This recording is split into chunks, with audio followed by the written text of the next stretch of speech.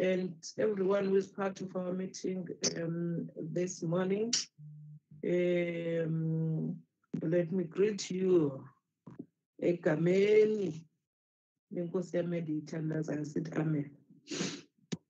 Uh, honorable members, um, we're meeting today after the minister had pronounced to South Africa that the bill for expropriation, that is Bill 2020, has been submitted to the Parliament. I think as this committee, we are going to have a role to play. As previously, it was given to this committee to do the, proper, the processing of the bill, to lead in the public hearings and all that. I think we must be prepared so that when it lands in our hand, we hit the ground running because the president said he wanted to see that bill before the end of this year be made an act. Uh, I don't know whether that is possible, but we have to be prepared as this committee to hit the ground running. We're still waiting for the parliament to appoint the committee that is going to deal with it.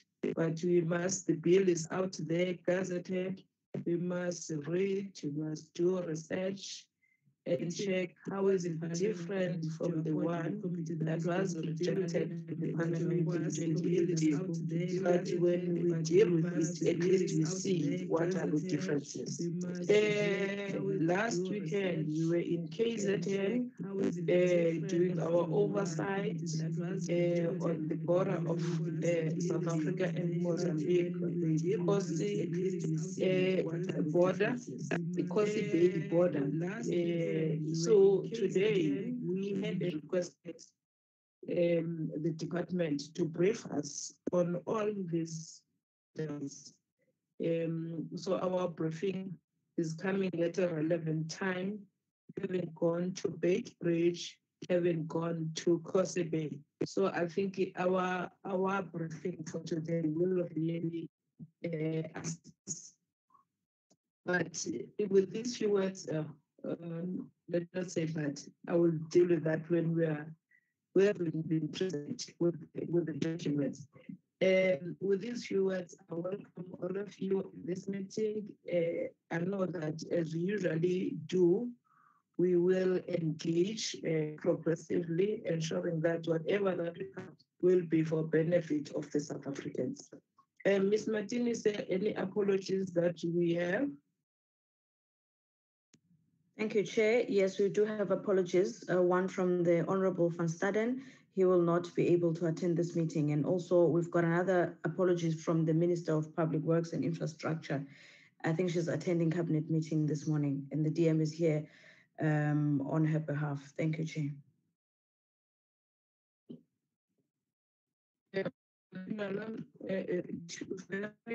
Um, is also one be joining us. Uh, they have a program in her constituent where the the district the district delivery model will be uh, launched. So they are busy there with the Minister of Culture and the Minister in the Presidency. So she won't be joining us. Uh, Honorable Mashele is struggling to get in if there is anyone who can assist. I don't know whether it's the it is the network or the challenges that we currently having. So anyone who can assist, please assist. But then I will hand over to you, DM.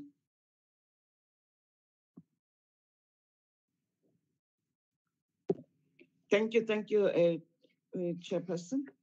And uh, good morning to the honorable members um, to officials uh, present, both from the portfolio committee and from the department, uh, those uh, led by the acting DG in the department and uh, Nola in the committee. Uh, allow me, Chair, to uh, first wish um, the, the honorable member um, Madeleine a, a speedy recovery. I can see uh, the pain she's in, and and I can feel it. Um, but also allow me to. We we meeting after after quite some time uh, post uh, the break.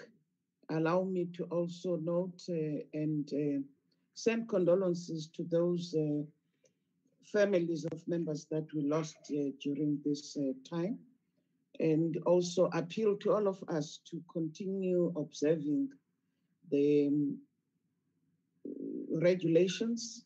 Um, COVID, we may be at level one, but COVID is still with us. Uh, having said that, uh, Chairperson, um, we we're here to present about our borders, which I think everybody uh, is aware of the fact that currently they are not in the state at which they should be. They are described as being porous, um, and we need to work harder to attend to the challenges. Um, understanding that most of our inland borders um, and uh, we are neighboring um, SADC countries with whom we share a lot, especially with respect to both um, social and uh, economic development. But uh, also, uh, we as a department are responsible to ensure that uh, the, the infrastructure needs of the Department of uh, uh, DOD, or Department of Defense, as the ones that are responsible for the, the, up, the, the safety for securing our borders, uh, the, the, the kind of infrastructure that we provide them with is, the, is what they need. Uh, and therefore, us working together and closely with the Department of Defense, but also with the other departments such as Home Affairs, because those departments also get affected by um, what happens in the in our borders. Home Affairs as well as uh, police, um, as well as um, Department of International Relations, um, all those departments matter in, in ensuring that we our borders um, are safe, our borders, our people uh, inside our country uh, are secured. Uh, but the Department of Public Works and Infrastructure remains responsible for providing such infrastructure. And we are talking about a borderline of approximately 1,800 plus close to 2,000 uh, kilometer um, zone. So we we we we are here to share with the committee uh, the kind of thinking that the department has and the kind of uh, plans that we're looking into. But the the the acting DG is here uh, together with uh, his team. They will be presenting to us uh, that, uh, making to us that presentation. I will, with your permission, Chairperson, allow um, Imtiaz um, to, to, to as, as the leader of the team to proceed with the presentation. Thank you for the opportunity, Chairperson. Thank you, honorable members. Uh, over to you, Just. Thank you very much, uh, Deputy Minister, and good morning to the chairperson and honorable members. Thank you very much. Chairperson, with your permission, I'll provide some of the background. Recently, uh, we've had the uh, BMA uh, established after the President ascended to the uh, legislation giving rise to the creation of the Border Management Authority. This BMA or Border Management Authority, what it does is it gives rise to the the establishment of an integrated border law enforcement agency that includes the functions of the SAPS, the DTI, the Department of Environmental Affairs, uh, as well as uh, in future the infrastructure functions of public works, So the fragmented approach to managing the borders uh, will be consolidated in a single law enforcement agency called the Border Management Authority. That authority is currently being established through uh, an NMOG process or macro organization process, where functions are being transferred from several departments into the Border Management Authority. Now, with that background, uh, Chairperson, the Border Management Authority has been functioning in uh, loose terms through a cooperation agreement, a multi-party agreement for several years now. And what you've also had is a Border Control Coordinating Committee uh, overseeing the workings of uh, the uh, Border Management Authority in this loose, informal way. Um, and uh, now we have legislation giving for our presentation. The one function that was not included in the Border Management Authority is the uh, function for border patrols and uh, protecting the, the borders of the country. The SANDF was able to successfully uh, lobby, if I could use that term, uh, to maintain that function uh, rather than it being integrated into the BMA. And the SANDF, on the grounds of the constitutional provisions of maintaining and protecting our territorial integrity and sovereignty, the SANDF maintains a function of uh, securing the borders of the country. And in that regard, with the SANDF being part of the Department of Defense, a client of the National Department of Public Works, we have responsibility in a formal manner for providing the border fences and patrol roads to our client, the uh, Department of Defense, and uh, consequently the South African Defense Force. With that particular background, an operation referred to as Operation Corona is uh, a project as part of the border management environment, uh, focusing on uh, uh, protecting the borders, led by the SANDF, and a site clearance process was in there was commissioned, referred to as a integrated site clearance process to look at the fencing and patrol roads along the entire borderline, including servitudes, as well as a high level costing and analysis of best practice uh, to gather some kind of intelligence of the land layout of the entire borderline for the purpose of laying the foundation of some kind of uh, response initiative in setting up border fence and patrol roads going forward. So as a, re a re result, Chairperson, the department registered three separate projects, uh, dividing the border line, the land border into three different parts, and what is called a, a site clearance process, which is essentially a land feasibility study to look at the entire uh, layout of the land on the border and in response to look at the site clearance requirements in order to set up a an adequate uh, border fence and patrol road infrastructure. And this is what this, president, this presentation is about. Uh, the work uh, hopefully will conclude early next year. And this presentation responds to what the layout is and what the work uh, entails and the kind of progress that has been made and what the costs are on a higher level estimate for putting together uh, border fences and patrol roads along our entire border. This land feasibility is the first step.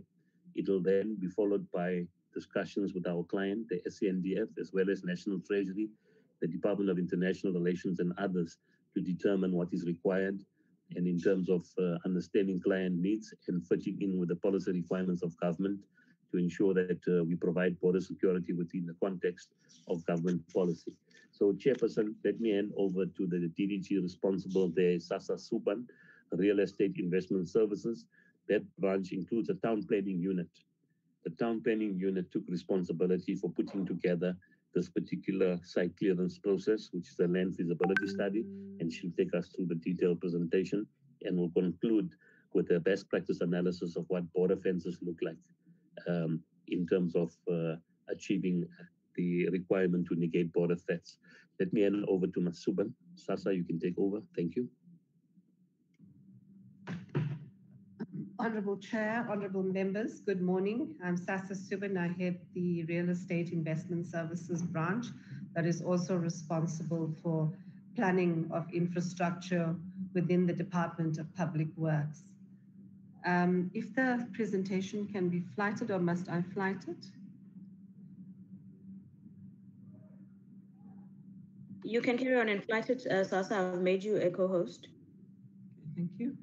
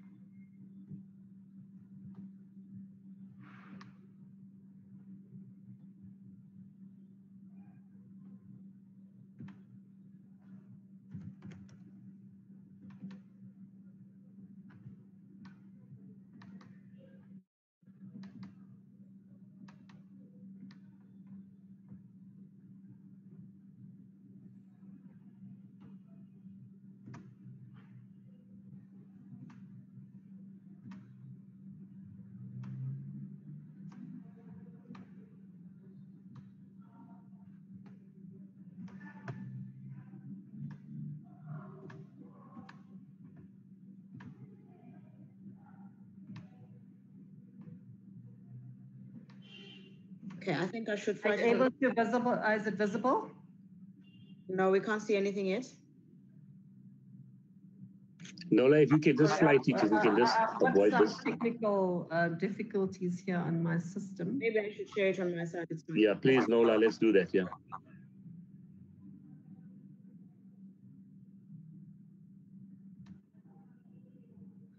Okay. um, As indicated, um, we, that, that, uh, we're going to be looking at the background of the project, the project status, the estimated timeframes for completion, uh, the proposed conceptual um, uh, diagram, um, some international standards and best practice for borderline fencing. We're going to look at the financial and budget implications for fencing and patrol roads and the way forward. Um, Chairperson, I'm sharing this presentation with Mr. Malusi Ganiso, um, and he'll take us through, and I will um, come through on slides five and, and six of the presentation. Malusi, can I hand over to you? Uh, Thank you, DDG. Uh, All protocol observed. Um, Let me take this opportunity and present. uh, I'm, uh, can you hear me? Yes, we can hear you. Carry on. Okay. Let me take this opportunity and present and take you through of what we have done as a DPW under the site clearance processes.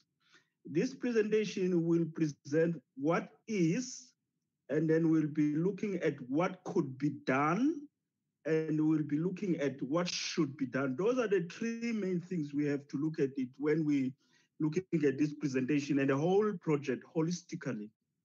The, um, the, the, the, the, first thing, if I can give you a background, internationally, we require to register a servitude of 100 meters along the borderline.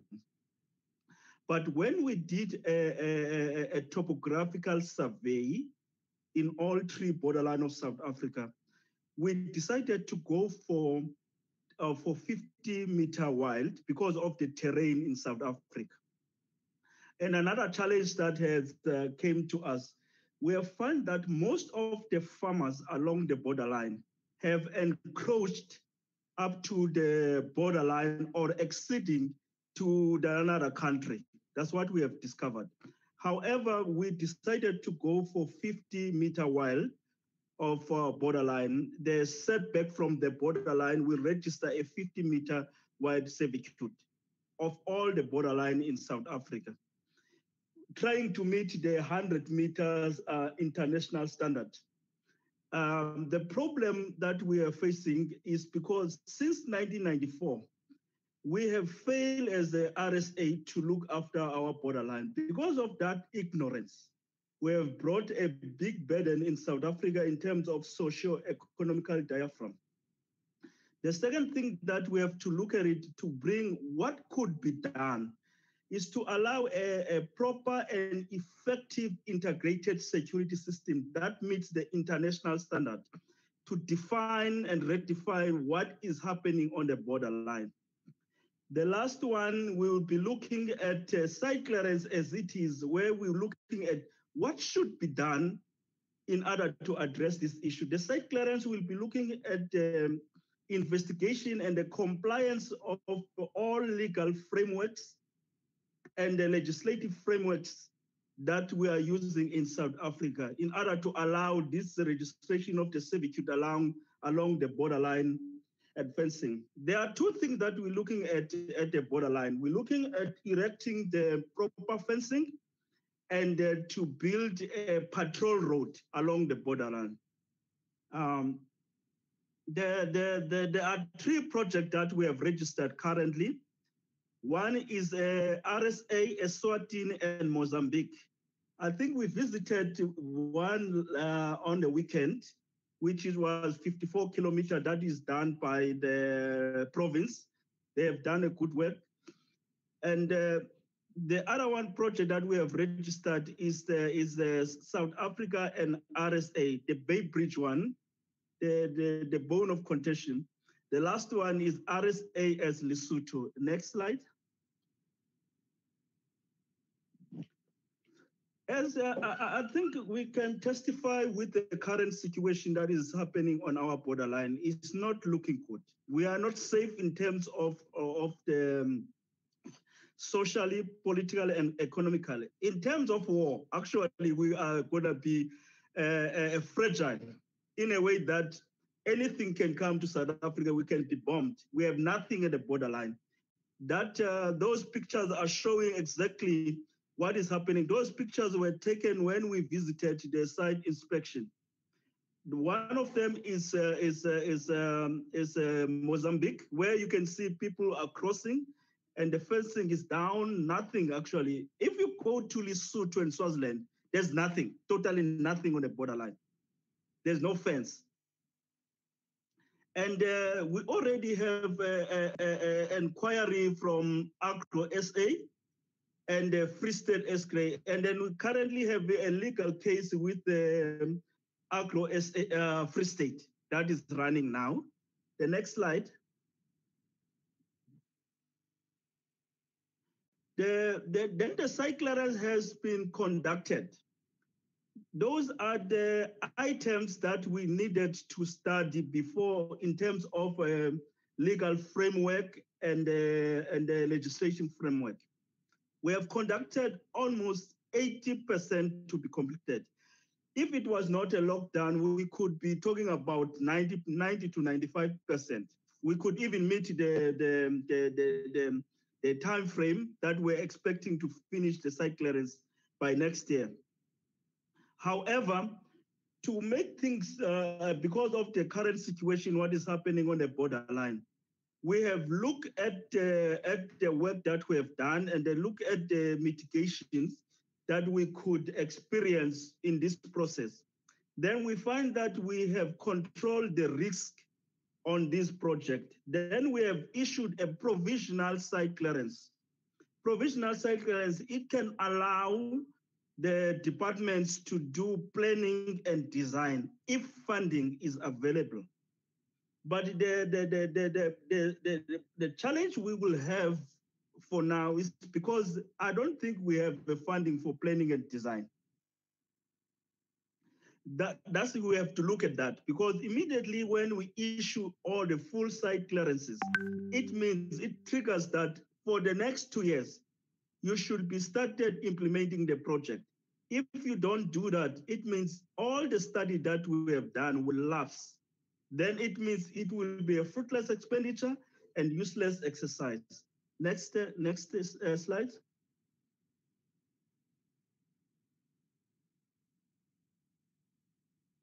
Next slide.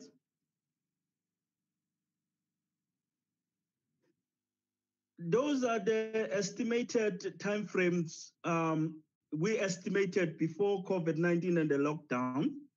We have been delayed by six, um, six months on this project, but we will try by all means to, to meet the targets that we set there.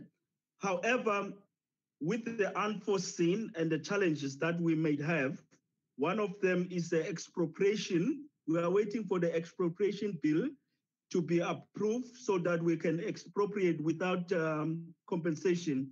Because when we did a study, we find that all the most of the farmers have encroached the borderline. They didn't meet that 100 meter setback along the borderline. Now, most of them they want us to they want to be compensated for the registration of the servitude along the borderline. But we're working with them well. They agreed with the registration of the servitude. Next slide, please. This is a this is a, a conceptual and or you can call it a cross section. When we did an investigation, we have noticed that most of the rivers that are, are, are, are, set in South Africa are used as the borderline. One of them is Limpopo. It's used as a borderline between South Africa and Mozambique. If you look at this cross section, the, the, the, the, the green part represents the river, the orange part represents the servitude. In this case, we have looked at the 33 meter wide of servitude. We have um, looked at the, uh, we have put the, the fencing That fencing is just the current fencing, for example, in Mozambique, that is there. Is already there since 1994 or before that. Then the existing one is the middle next to the road. That one is the current fencing that we propose that it should be there as a security. That fencing must be an integrated security system. But slide nine, I would dwell a lot. What do I mean when I say integrated security system? Then you will have a patrol road. It will be useless to put a fencing without a proper patrol road. Immediately you put a fence. If there is no patrol people, those people can remove that fence. It doesn't matter whether it's a washing fence. As you as we went to Mozambique last week at Kosi Bay, we saw that fence is the farm fencing, but we call it as a, as a security fencing for South Africa. But if you don't put the proper integrated security system, it's useless. Even this exercise, we have to just to stop. The next slide, please. Slide nine, the, the annexure. I have put an annexure where I wanted to dwell on it.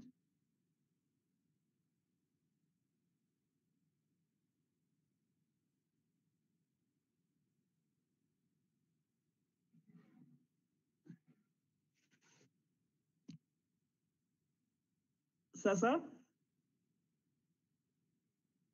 Ah, Yes, uh, uh, Secretary, do you have the annexure? Um, Sasa, I only have what I see in front of me, so I don't know whether the annexure is supposed to be attached on which slide. it, it was attached on the email to the DG. No, I didn't receive any annexure, unfortunately. I received the presentation and the apology letter from the minister.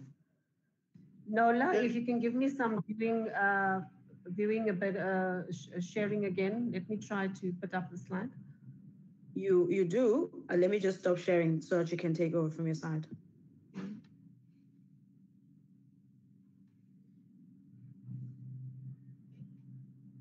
Is it visible? Not as yet.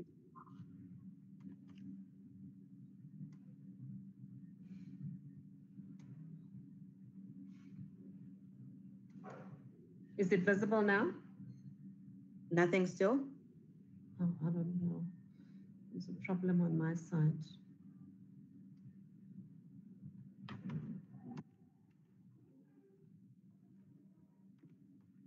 Um, perhaps give me the, the, the rights, then, then I'll project it. This is Heinz. Okay, Heinz, I'll I'll do just right Uh, away. you'll see I've got two. Um, just uh, use the Heinz 2. Okay.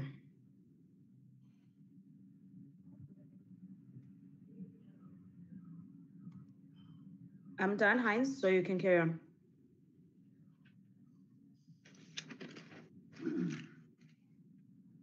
Oh, oh.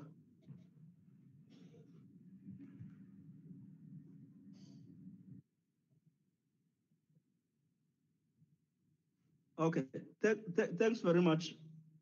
Um, I'm not gonna dwell with the, the methodology and uh, all those things because we'll be doing that in planning and design because it's too technical. But if you look at this slide, this is what we're we we we we we we we we um, proposing to have on a borderline. But if you can go down, uh, Hans, can you just go through through all the presentation up to the um, to the to the to the you can go through go through i will tell you where to stop. Yeah you can go back. On the wall on the wall on a on a barrier. Back. Back. Back. Back. Back. Yeah. Can, here what i want to present we went to kzn on a weekend exactly what we have proposed on the site clearance. This is what uh, the, the, the, the, the imitation of the KZN what they are putting on the eight kilometer road. This is just a concept, but based on this concept, they came up with the contextual plan, which they are presenting on the KZN side to block the cars that have been stolen from the Manguzi or Mhlabuyalingana community.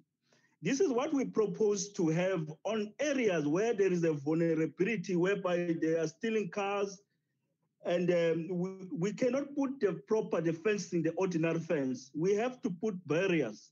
This is one of the things that we have proposed that on those areas whereby we have the challenges with the stolen of the cars, we can put the, the jersey barriers. This is what the concept look like.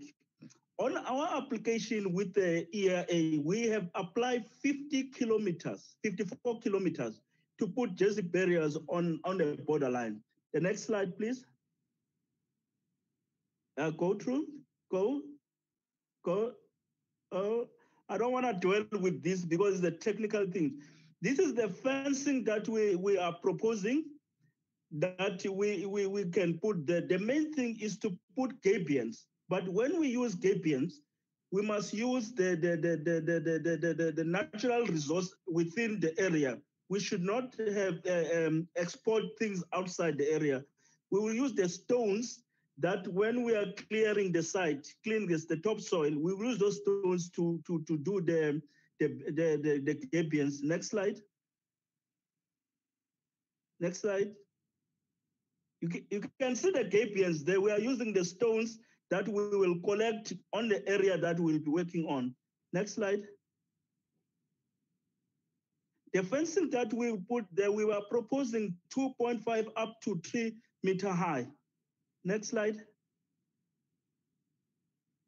Next. There, there, this is the situation. Sorry, go back again. This is the situation I was talking about. At the moment, there is no fencing. If there's a fencing there, it's not working for us. Click again. This is what we are proposing. On that 50 meter wide, we will have a patrol road. First thing we have to do, we have to build that patrol road before we put fencing. Next again. Then we will create a fencing. A fencing, we must put a fencing with a reaction time of to 20 to 30 minutes before someone cross in. How are we gonna do that next? We will have an echo station. On the echo station, we will use solar panel. And then on the fencing, we'll put detectors. Because what I said, if you put a fencing without detectors, it's a wasteful expenditure. But if you put detectors and then you have an ecosystem connected to those, then it will be making a, effective integrated security system next. Then you, you can see we'll detect the, the intruders next. The detector shows that there are people close to the proximity, the radius. Next. Then it will be reported at the, at the echo station next. Next. Then the, the patrol, oh, and then there will be a, a vehicle that will go immediately to where the, the detector have detected the intruder. On this exercise, we have proposed that the drones must be used because they will be quicker to go to the area whereby the area is disturbed or the fencing is disturbed. Next one. Then this is the area whereby there is a low uh, security. We'll put a fencing where it will have the same reaction of about 25%. Just go through that one. I won't, I won't present that one. I won't present the one with the river because it's similar to what I just presented. Just go through. There, there, there you go. Well, if you go to the to the to the to the to the to the, to the borderline, there are a lot of catchment areas where they are sourced by the mainstream or the rivers that join the mainstream, the main river. In that area, this is what we are proposing. As a department, we should have a similar thing because this is an international standard that has been practiced. We have a report that was done by our consultant whatever we are presented here has been gathered from that report. Go through. It shows you, you can even detect someone crossing on the river. Go through. Exactly with the same the same presentation I just done a few minutes ago. Go through the solution. this is what we are proposing in order to make sure that our borderline system can work. We need a geometric uh, uh, system whereby we will say for each and every 120 kilometer, we will break down and put what I have presented. There will be a security system for first 30 kilometers, second 30 kilometer, fourth uh, kilo, third kilometer, and fourth kilometer. Then it will be linked at a big control room. The next one. That's what I'm trying to present. I just said it. Next one.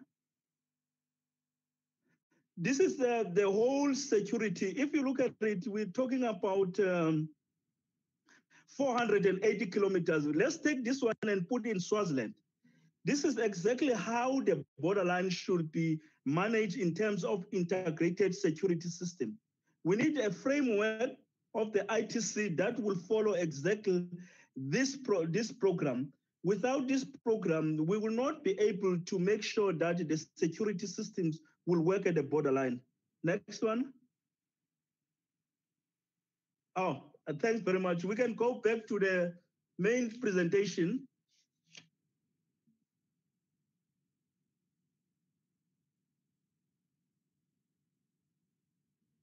Heinz, are you going to flag the presentation or should I? I'll continue. It's fine. Thank you. Yeah. Slide, slide 10.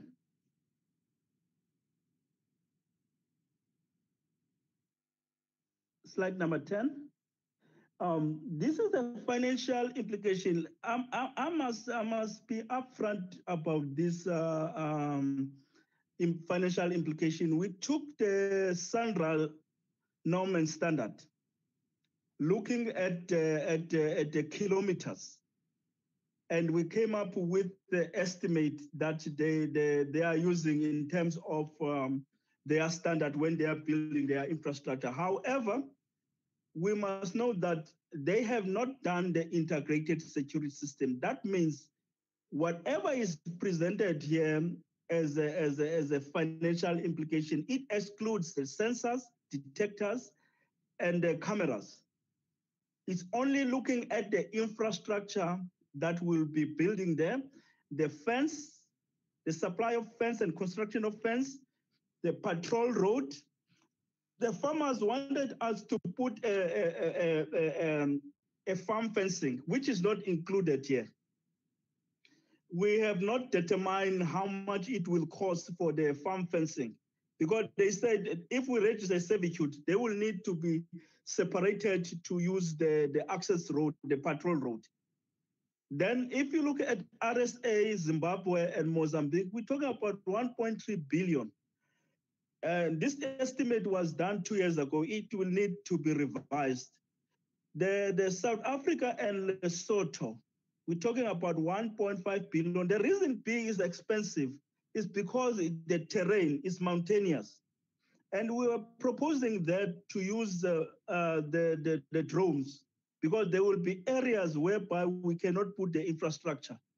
That means the drones will be used as a system to patrol those areas. The last one is, uh, is RSA, Eswatini, and Mozambique. We have split that project into two because of the criminal activities that were taking place between Kosi Bay and Ndumo in Mhlabuyalingana, as we visited on the weekend. And uh, we have split as phase one and phase two. But we, I can tell you now, I'm very excited. We got the approval for two of the projects in terms of the EIA, the the the, the Lesotho one and the, and the Swaziland. The problem that we are having is only the one of the Mozambique because of the Beitbridge, because we have transgressed the environmental uh, uh, uh, requirements by building before we get an approval. The next slide. And I would I would like uh, DDG to present this one, and um, she will, can explain better than me. Thanks very much. Thank you very much, Malusi. Um, uh, Chairperson and, and honorable colleagues, what we're looking here is uh, the funding strategies uh, that we're proposing um, to be presented, one to National Treasury, and the, the second one, which we've already submitted, uh, was to the Investment and Infrastructure Office of Dr. Ramaphosa in the presidency. Um, the, the, unfortunate thing is that at this stage, uh, they're looking at tender-ready projects, and we are still in planning. But we've put in a submission to indicate that we'd like to be considered for funding and to look at the modalities that um, the infrastructure office is proposing, which is um, looking at uh, public-private partnerships together with the DBSA and National Treasury. Um, we do understand that the amount that we require at this stage only for infrastructure is, um, you know, exceeding 5 billion. And um, if we going to work with our partner, um, which is the South African National Defence Force, which will have to approve all of um, the, the um, uh, uh, structures and the infrastructure proposals that we are making aligned to their specifications. And as indicated in terms of their their um, uh, their technological solutions that meets the um, the Border Control Act and the Defense Act as well, and that will include the surveillance strategies. So we um, have to to work in a more um, um, or, or have more close collaboration with defense. They do have some proposals, and like um, uh, Mr. Ganiso indicated, the aspects of drones, etc., has got to be further teased out. So we're busy with the business case um, that we will have to then get further engagement with um, the South African Defence Force on and jointly then make presentations both to National Treasury and the Infrastructure Budget Office to, to then um, solicit funding for what we term as one of the most important projects uh, for, for the country to ensure the safety and security of our border uh, fences and, and, and our borders both uh, internationally um, as well as local, like the, uh, the DM mentioned. And going forward, we'll also have to include DIRCO um, into the collaboration efforts. So th this is what this particular slide is about, and the engagements will then transpire further. If you could move to the way forward, um, Heinz. There's also discussions um, that uh, has been transpiring and continue to be continue to be transpiring with the uh, Border Management Agency. We would like to see a border management master plan from the BMA we do understand that they're looking at the border posts currently, but we'd like for them to include the borderline fencing um, so that we, uh, and the work that we are doing so that we have an integrated approach so that we could create efficiencies um, and, and ensure that, that um, the efficiencies we're creating is equaling the security for the country uh, and uh, the movement of insurgents, etc., is accordingly managed. Um, we, we, we have looked at the presentation um, and um, as uh, uh, Mr. Ganiso has presented, the proposal that is still work in progress, might I add, is aligning to international and South African best practice at this particular stage. Um, there will have to be further engagement, like indicated. The designing and costing will have to be updated um, and we will have to have the engagements, like I've alluded to, with the Department of Defense, uh, the Presidency, National Treasury, and perhaps DIRCO as well, as, as our support partners in this regard. Um, and yeah, and I think uh, I'd like to pause there and thank you, Chairperson, honorable members, and um, the supporters for the presentation. Thank you very much, including the Deputy Minister and the Acting DG and Mr. Malusi. Thank you very much. Chairperson, with your permission, if I can just add one point before I hand back to yourself. Uh, and Chair, that is the issue of, uh, of what this presentation is about and, and, and what we're doing it for. It's about border security, and border security is about mitigating border threats. And uh, it's a simple equation that uh, a border a border threat constitutes a breach of the borderline, and that breach can come from inside the country or outside. And in this regard, uh, the breaches come and come about for very different reasons. In certain countries, they protect their borders from uh, crime or terrorism, as they'd want to call it or describe it. In other countries, you're dealing with economic migrants. So the level of the threat and the type and nature of the threat is different. Uh, and that is the nature of our threat, uh, uh, border threat on our borderline, is that the persons who cross are largely economic migrants. And the other important point to make is that in mitigating border threats, border fences are not used to mitigate border threats by themselves. There are usually three interventions, which was touched on during the presentation, but needs to be emphasized that a border fence can never can never prevent um, or mitigate on its own a border threat. It usually deters people from crossing unlawfully or it delays them. Uh, it must work in conjunction with two other mechanisms, which is detection mechanisms, and my colleagues referred to sensors and cameras, as well as reaction and respond uh, responding mechanisms. So what you have is border fence must work together with uh, detection mechanisms to identify a breach and then to have a reaction mechanism. On its own, it's of little use, whatever the quality of that fence might be. So these three, interventions must be seen as a single unit. Thank you, Chairperson.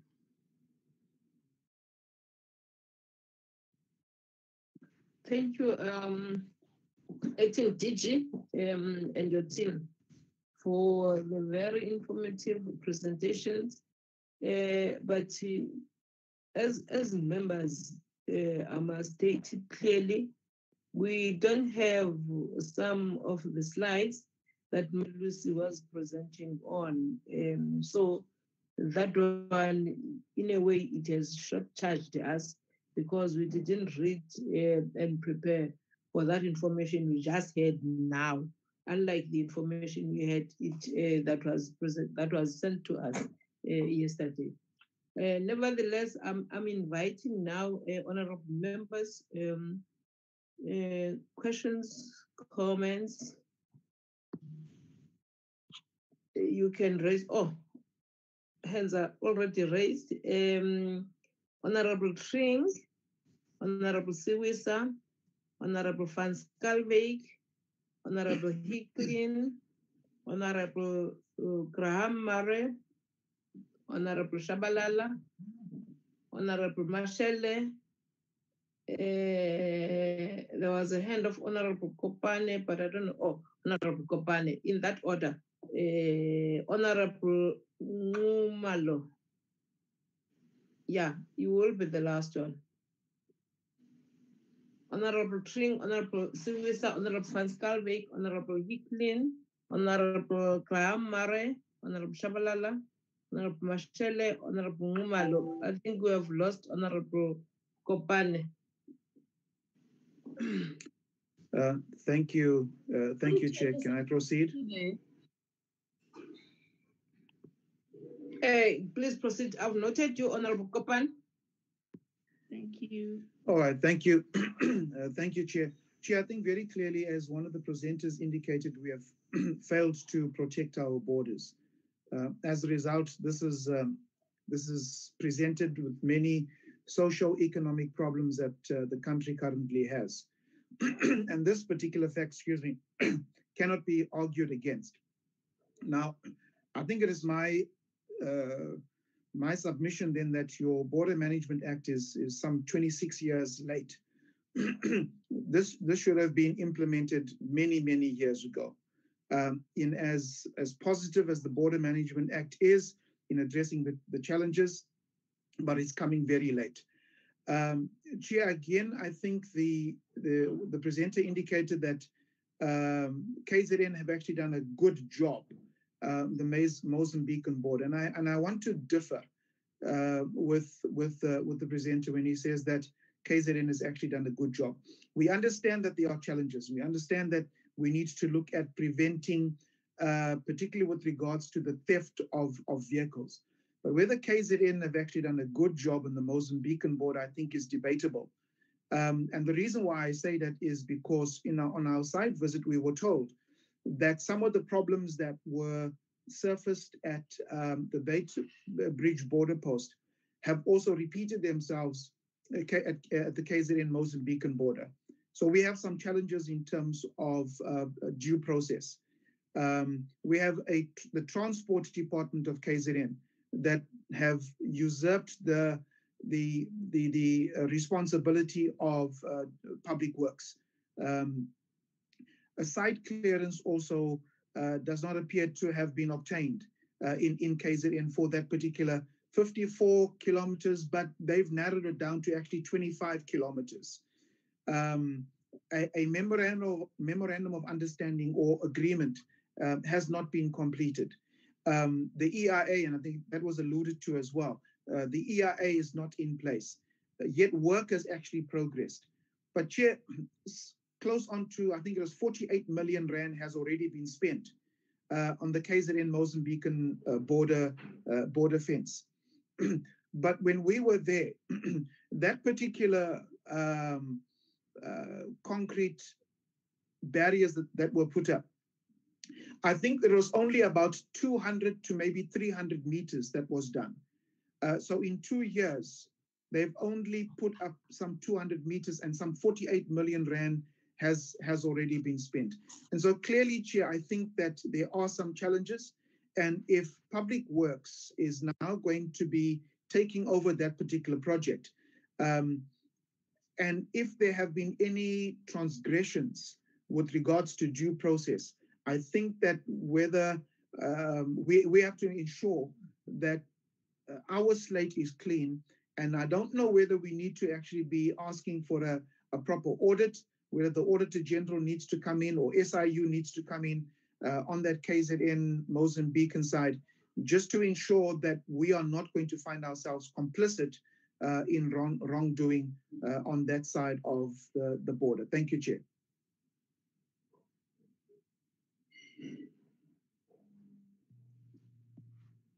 We must follow the order. Honorable Suisa? Okay. Uh, thank you, Chair. Uh, Chair, I would love to call the presenter who was doing the annexure presentation to order. Nothing is too technical. You must come here prepared to explain any difficult terms that because I have a feeling that they rush through it, and that's where the money is going to be spent for everything the sensors, all the hotspots, and everything. And then a presenter comes here and tells us that it's too technical. We, we've got different people with different backgrounds within the department who would understand something. So it should be the last time that a presenter comes here and tells us that it's too technical and then rushes through a presentation. We shouldn't be taken as if we, we, we don't know what we are doing here. We've got people that have got a background on some of the issues that are here. That is why we are serving in this committee. So I think I must call the presenter to order. It should be the last time because it seems as if he or he's undermining the committee to say that if he explains, we won't be able to understand what he's talking about. So his duty is to present and leave the technical part of it out of it. You'll be able to figure it out, out uh, any other way. On that note, Chair, um, I've got I've got a concern. If this plan was made two years ago, if the, if it was made two years ago and we are only hearing about it now, and why was it not impl, impl, why it was not implemented at the Beitbridge? Because if this if they believe that whatever that they've come up with is going to work, then why didn't they implement it at the Beitbridge? Why didn't they implement it at the Kosi Bay where we were the, the, the other day? Because you look at the whole thing, it looks so beautiful and so promising, and it's going to cap a lot of things that might be happening. Why wasn't it why wasn't it implemented? Because now we are hearing that by 2021 January the projects must be finished. And if the projects don't happen, there's going to be a fruitless expenditure. This is what's going to happen in everything. And going back to the Kosi Bay uh, uh, project that we, we attended over the over the weekend. I asked them, there's something that was said because I it's it's a pity the acting DG was not there because I'm worried the engineer was acting like a polit- like a politician answering questions that are going to get the Department of Public Works and Transport into into into trouble at a later stage because he was answering political questions because again we had a problem of there was not enough representation from the Department of Public Works. So my question there was, they are saying that they put up the walls and then there's another fence that needs to be put in. My, my question was, where is the sense of putting up a wall and again putting up a fence if we are sure that the wall that has been put up is going to be able to to to to serve the purpose that it's supposed to be and again my question would be how do you go how do you assist a department or how do you assist a project when there is no mou that was signed before? What are the terms and conditions? And now, because now KZN wants to be assisted by public works to make sure that they fund and then the projects must be end and whereas there was no environmental authorization that was given out. Those are some of the questions if the DG was there or somebody from the DG was an agreement that later on will do an MOU. Each and every documentation that is relevant is signed and it's up to standard before you can even think about starting even digging a hole to set the have because now we are talking about border fences and everything that we've picked up with. There's a mess at Beitbridge there can be a mess at Bay if we are not careful. There can be a mess if we are not careful.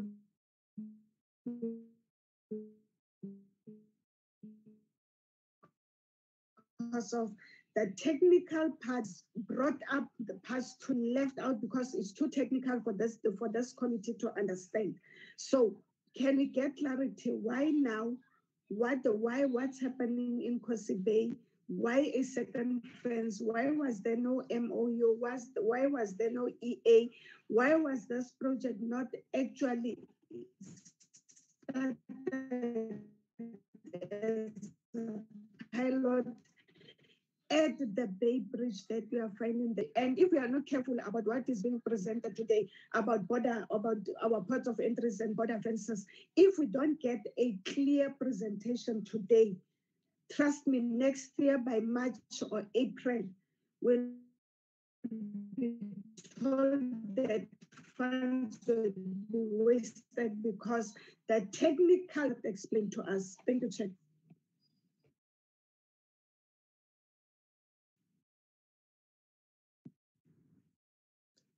Honorable Eklund. Oh, Honorable Van Schalkwyk, uh, apologies. No, no, yeah. sorry. Sorry, it's Honorable Eklund. Okay. No, Sharomi, uh, Honourable Sharomi, you may go. I'll go after you. I'm happy with that. Sorry, thank you very much. Good morning, everyone.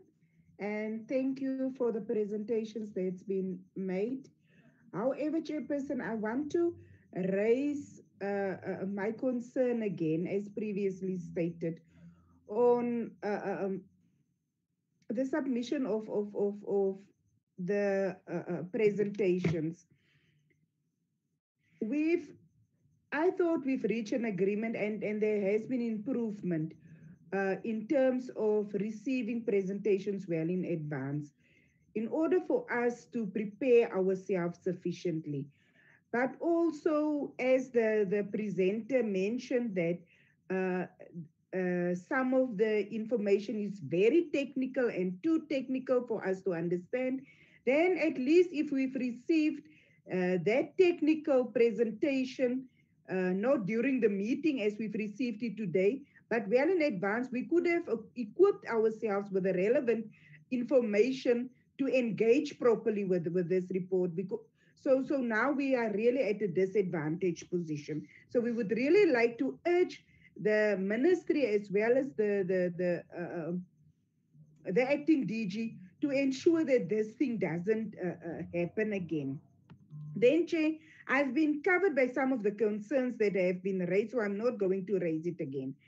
However, my concern is we know that there's other departments involved also in the protection of, of, of, of, of the borders, which uh, includes the Home Affairs as well as Defense.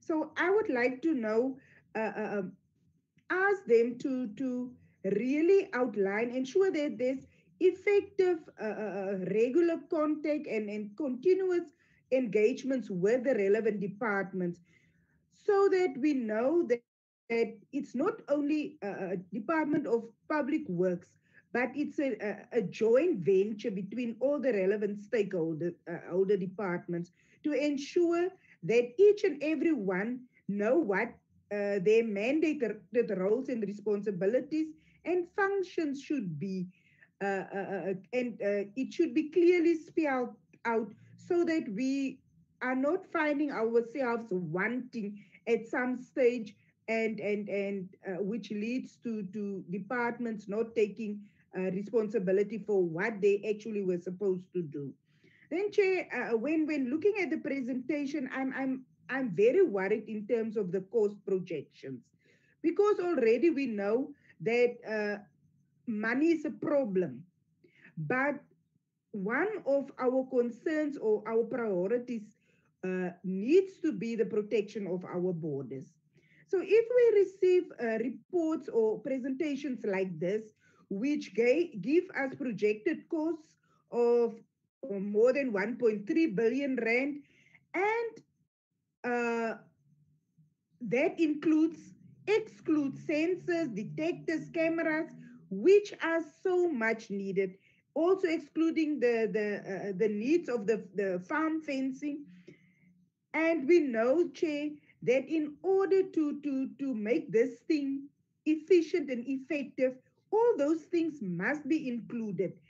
And now we, we, we have to ask now the, the, the presenters or our learned uh, uh, uh staff to go and do another course projection because as we've we've heard that that projections is is it's far back that it has been done so we need an updated cost projections which would also include uh, uh, all those uh, exclusions so that we can have a true reflection of what actually needs to be done so that when uh, uh, uh it might happen that that the we, we go into such projects we don't get the the situation where the project is not even half, then the money is exhausted, and and and all those kind of of, of, of problems that might arise. So, Chair, uh, the other issue that I want to, to establish is how will uh, detection system be secured from vandalism? Because we know that is a big point of concern, and uh, we, we we don't find some sense in terms of what's happening here. And if all the cost projections and the relevant things are being done, how long will it actually take to finish this thing?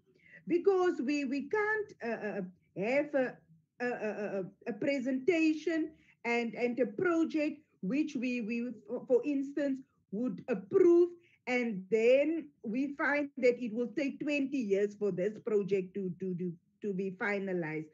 So we need to know in terms of time frames how long will it take to, to finalize this project after um, all the relevant paperwork or administrative stuff is being done? I thank you, Chairperson.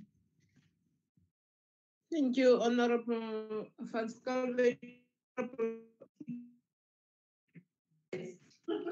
Thank you, Chair. Um, my comments may sound a little harsh, but it's almost for me like this border management authority is an unfunded mandate because I don't know where the cost, who's going to cover the costs. It needs to be split very, very well between the DPWI, SAPS, Defense, and a whole host of departments. And yet it seems to be falling fairly and squarely on our shoulders because, quote unquote, the Department of Public Works is responsible for the infrastructure. And the infrastructure is the basis upon which this entire um, border management system is actually working. And it's concerning me t- tremendously because if you don't have the, the fence, the, def- the detection system, and the response, we are not going to be able to have effective management of our borders.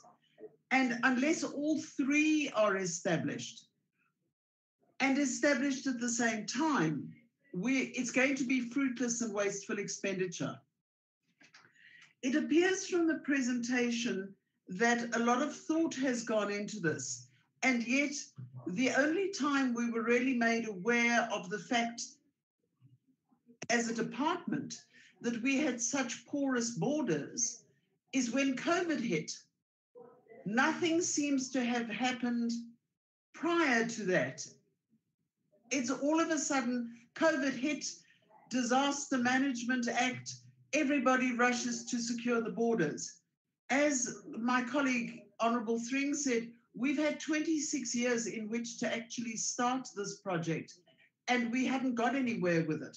And it's of extreme concern to me that, that we are suddenly finding ourselves completely at, at sixes and sevens, having to find billions and billions of rand of an estimate that by our own admission and by the admission of this of the presenters is completely incorrect because it doesn't inco- incorporate certain sections and is years old and all of this is supposed to be finished in January or February of next year.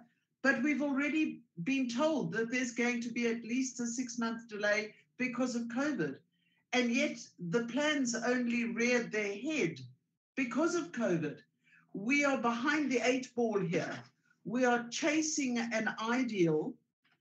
And I don't know if it's if it's feasible.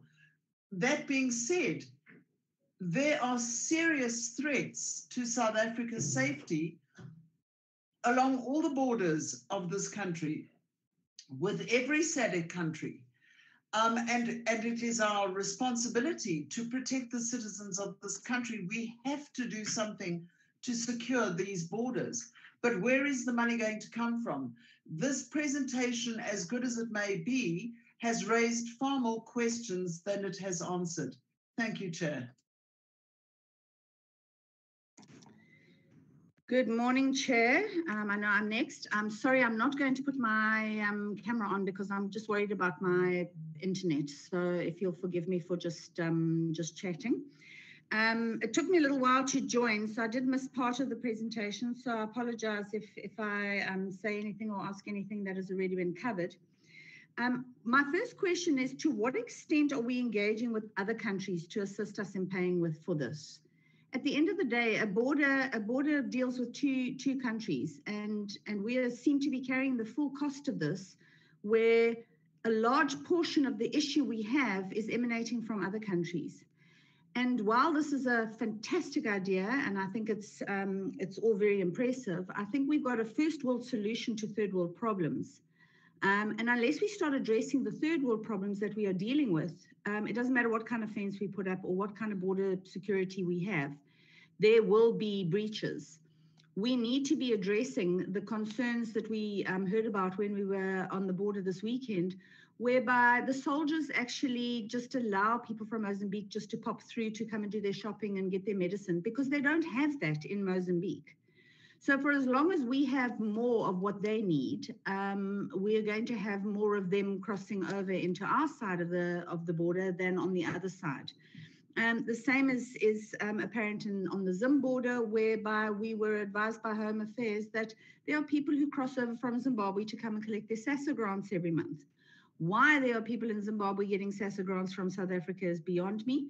But at the end of the day, this is happening. So it's all good and well um, coming up with these state of the art ideas as to how we're going to, to protect our borders.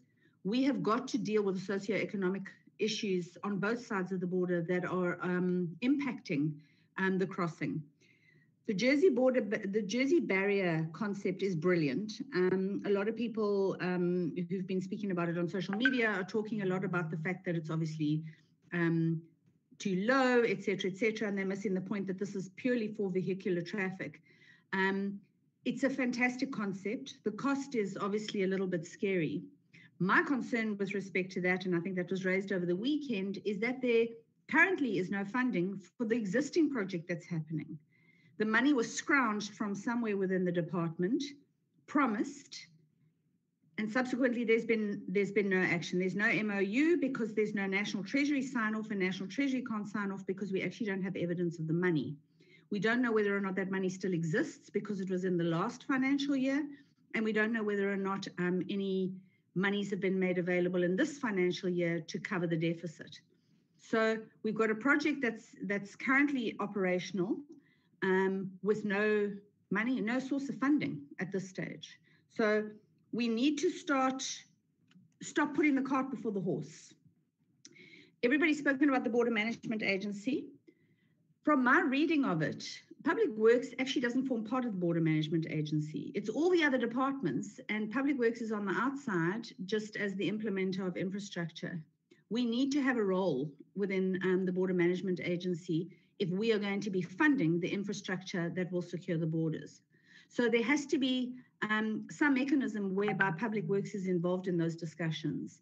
Um, and and and that needs to be addressed quite urgently. My understanding of the Border Management Agency at this stage is although the act has now been passed, it's going to take 12 years for it to be fully operational. And at this stage, there's no funding for the actual agency.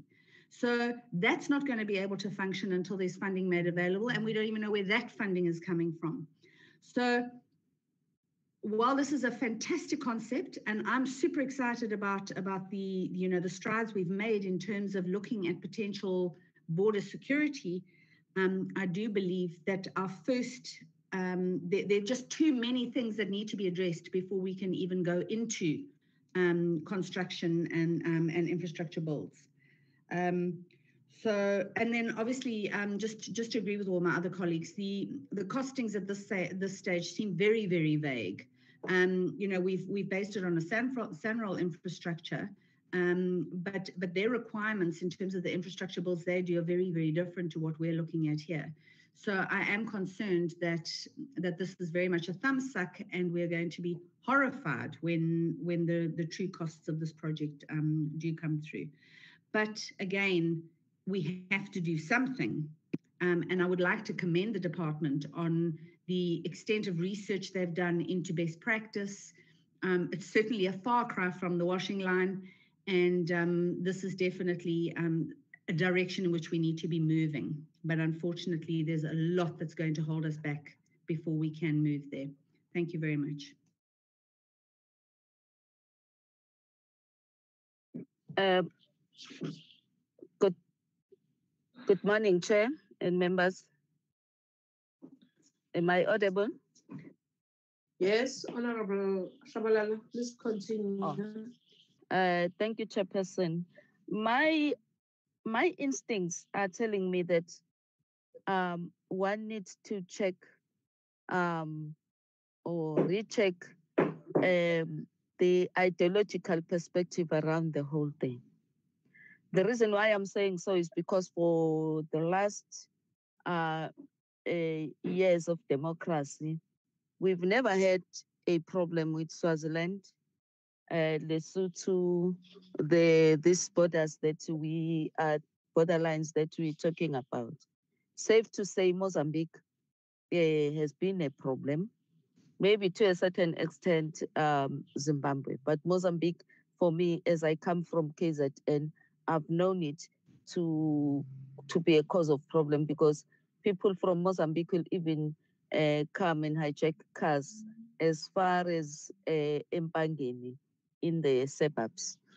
Um, but I want to to check and go back, reflect back, and uh, we had a meeting of reprioritizing the, the programs of the department. Given the fact that um, uh, COVID-19 have left our people in a very destitute uh, uh, situation. And one of the, the, the emphasis was on the job creation. and I'm still hanging there. Now I'm hit by this brick of of the the, the, the, the borderline. And I don't get the sense of the study that says this is how how risky and these are the effects of not having the borderline up to this 26 years on Swaziland. I don't see that study. On Lesotho, I don't see that that study. But having said so, uh, uh, Chairperson, I just want to check because our department is a is an implementing a, a department. Is there a request from the defense uh, that has been uh, as a client department that has been submitted to to to to the Department of Public Works? Uh, safe to say that can we can I propose, Chairperson, that can we have a meeting with the portfolio committee on on defense uh, around such issues, and then have the design been shared by the Department of Public Works with defense and all uh, other stakeholders, uh, like other departments that have the interest. Who paid for the designs? At how much? That is one other area that's in a, I, I, I, I am curious about. Have they been endorsed by all the other uh, departments? I know that with the Department of uh, Transport, there have been something around the management, or was it a committee? But there has been a management uh, a structure on the border, on the borders. Uh, uh, uh, but I know it resides with the Department of Transport. Maybe one needs also to to make some inquiry and be able to understand that correctly. The issue of the uh, the technical side of things, can we get that information? Then we'll go back and say it's us who need to say this is technical. We cannot say anything on on on that one. Um, Chairperson, I've, I've been hearing the department, the Minister of of Defense, talking about the drones, drones, drones, and I was wondering whether is Department of Public Works and Defense are they on the same uh, line of of thinking around uh, this um, this uh, the, the, the, the, this this issue. Safe to say, um, Chairperson, I around the whole thing, I don't even hear anything about job creation, and I am asking myself, is it the priority that will wake up in the morning and saying we have delivered to our people? Because right now, I can tell you, we have a dire situation where people are crying out just for a bit of a, a, a food parcel. Isn't there anything that we can focus ourselves on? Then say over time, we will then deal with the, the borders that uh, uh, we will be dealing uh, simultaneously. We are dealing with Mozambique. Of course, all of us agree. We're dealing with Zimbabwe. All of us agree. But I haven't had the study no any cry, no any crisis.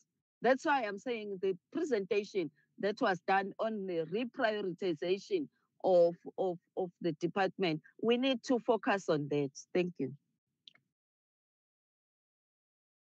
Honorable Shabalala, Honorable Kopane.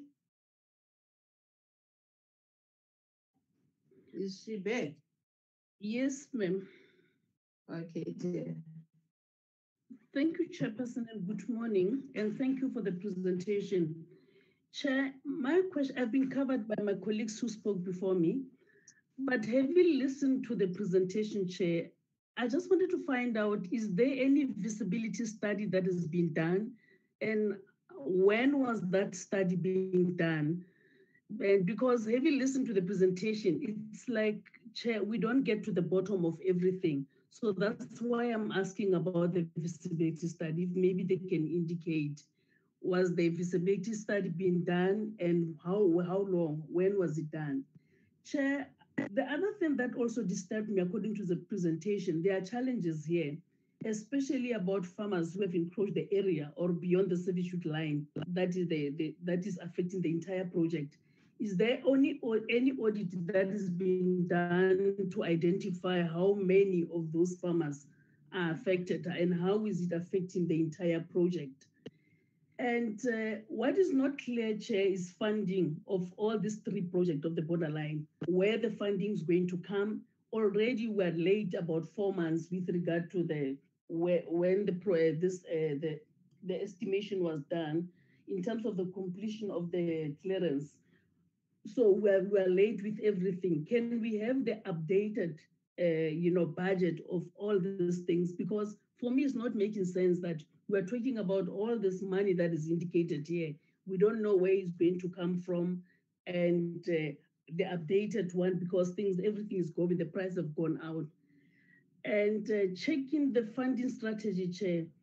What is also worrying me here, there is a column of the construction period. It's just saying three years, five years. I just wanted to find there's three years from when, five years, when we say five years, the, the construction period, from when to when, because we need to know. Because if it's standing like this, it might be five years to come or three years that has passed. So if they can just clarify in terms of the construction uh, period, they must be specific about that. And Chair, the, uh, the main objective of this presentation was to give us the status quo of uh, and the progress of the whole project. But checking the pictures that were presented to us, especially on the fence, these pictures, Chair, I would have appreciated if maybe they would have told us, according to the three projects that have in, been indicated here, this picture was taken from this area between South Africa and Zimbabwe. This picture was taken from this country, South Africa and this country, but it is not clear, just those pictures that are just there. If maybe they can, maybe when they do the presentation, just to be more specific in terms of these pictures, which area in terms of the project that is being highlighted here. But most of the things, Chair, um, uh, I'm, I've been covered by my colleagues, but definitely there are problems here, Chair but let us hear about the, the feasibility study. Maybe that will give us a direction. Thank you, Chair. Thank you, Honorable Mashele.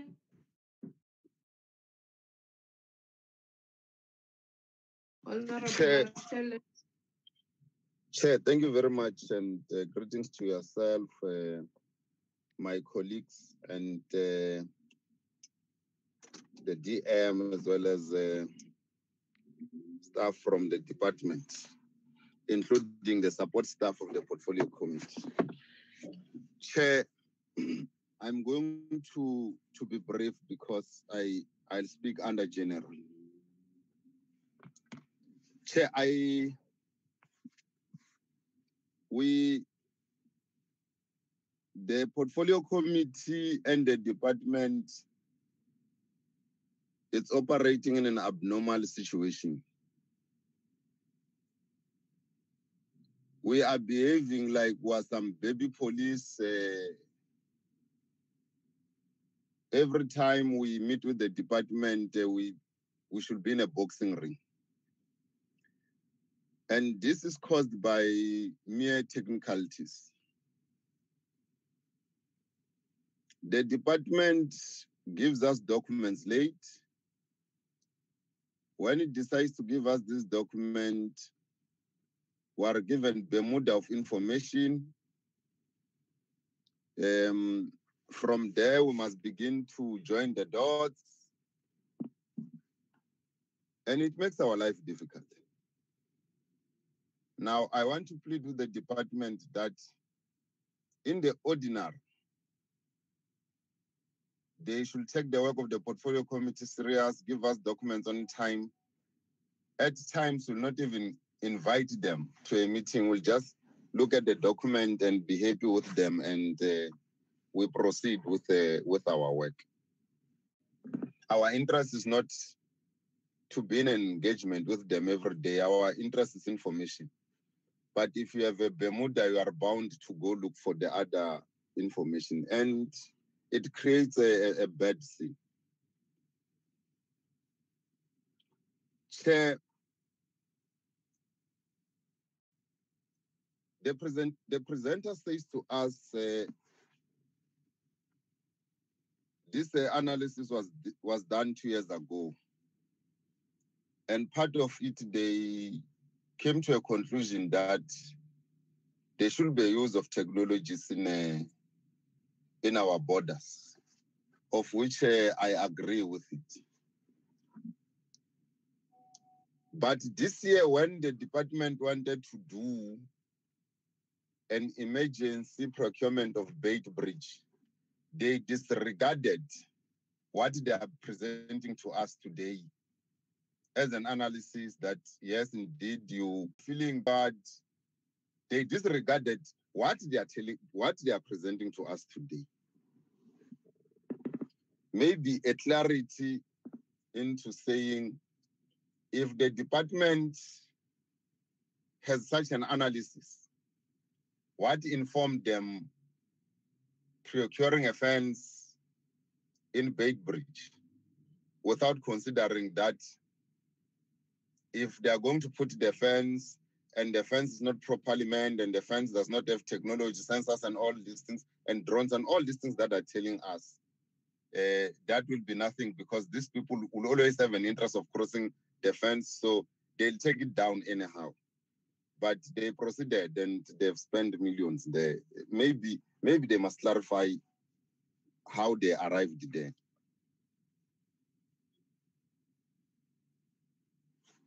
Chair, my other colleagues touched some of the issues I wanted. Hence, I'm saying I'm, I'm, I'm just going to play the general knowledge as a layman.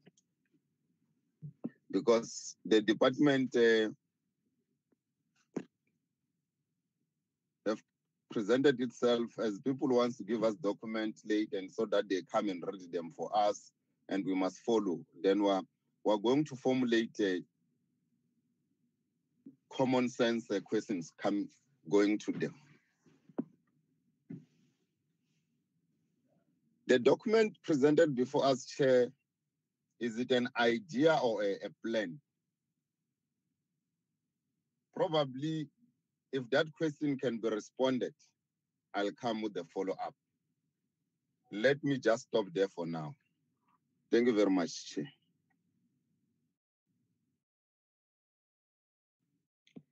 Thank you, Honorable Mashele. Honorable Ngumalo.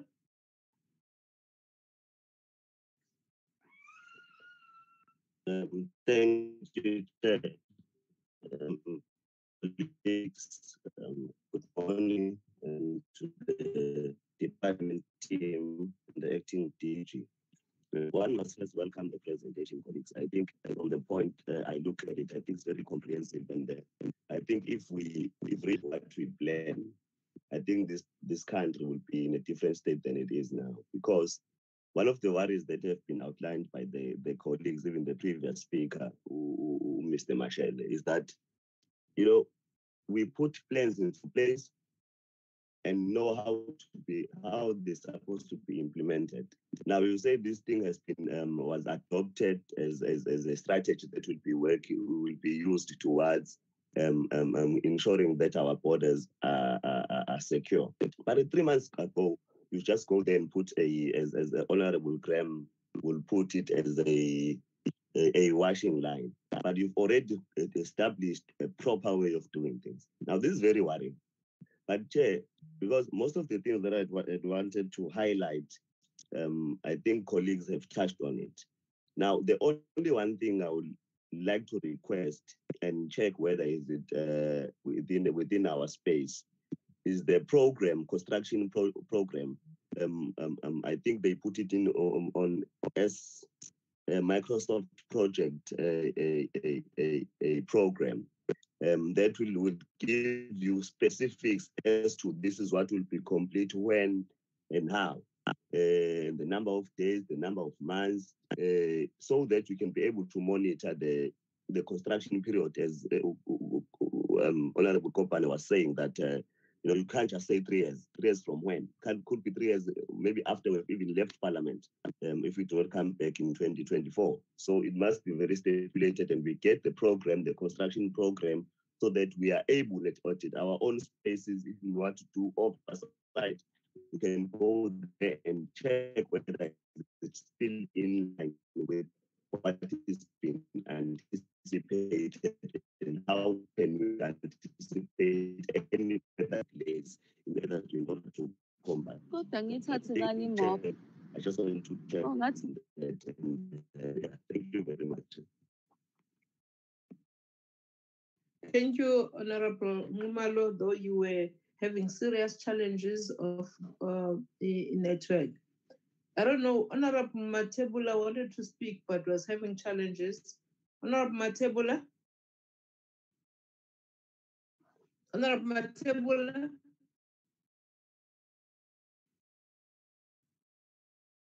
Honorable Matebula? Uh, okay, I, I, I think let's let's leave him there. Uh, thank you again, DM, uh, acting DG, and, and the team on, on, on your presentations. Just a few comments from me. Um, one, the, the Border Management Authority. Uh, I think that one, as the committee, even when it was pronounced, we we we agree with the establishment of it because the, the management of our borders can be in public works um, function only. It has to be an integration of all the departments that are working on our borders. So the Border Management Authority on that one, we, we agree. But but uh, um, as as Mr. Malusi was showing us, um, uh, the some of the slides that are not part of the presentation that was sent to us. I understand uh, Ms. Martinez has just sent them now, but I, I want to check.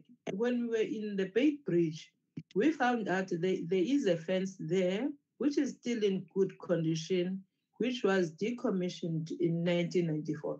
I think in one of our recommendations as the committee to Parliament is that what about activating that that fence which was decommissioned in 1994. I want to check now whether don't we have such infrastructure in other borders? Uh, I won't talk with, with the one of the Kosi. We'll talk on that one when we're dealing with the report of the uh, border. But I want to check with you, maybe whether in South Africa and Lesotho, South Africa and Swaziland, South Africa and Namibia, don't we have other fences that were decommissioned that are still in working order? I think if we can utilize those fences, I think the cost would go down. But two, um, uh, acting DG and, and Sasa Malusi, um, the issue of, of bringing in technology, I think that one, it's, it's a good initiative. We are living in the world where technology is being advanced each and every day the use of drones, the use of sensors, uh, it's, it's, it's a good initiative to me. But I'm worried about the costs uh, that you're saying uh, for this. Um, you did this two years back. You know that costs are escalating each and every day.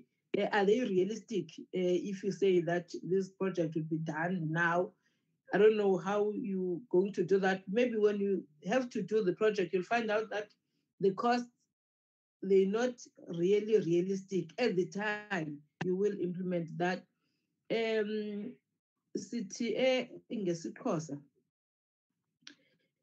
sisixhosa na kungcono uyofika ngexesha elilate kunoba ufike ungafiki ngesingesi ke better late than never yes this has not been done in the last few years but now that we have started with the plans, can you please ensure that um, I'm just echoing what Honorable Ngumalo is saying? Can you please ensure that this is done? We need really to manage our borders. Over to you, DM and, and the team. Uh, no, thank, thank, thank you, Chairperson. Um, we, we will take the usual approach. The team will go to the questions and I will come last. Uh, acting DG.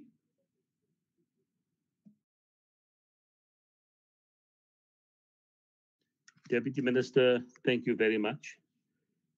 Uh, Deputy Minister, let me first of all um, apologize for the statement that was made by one of my colleagues about the technical nature of these uh, presentations.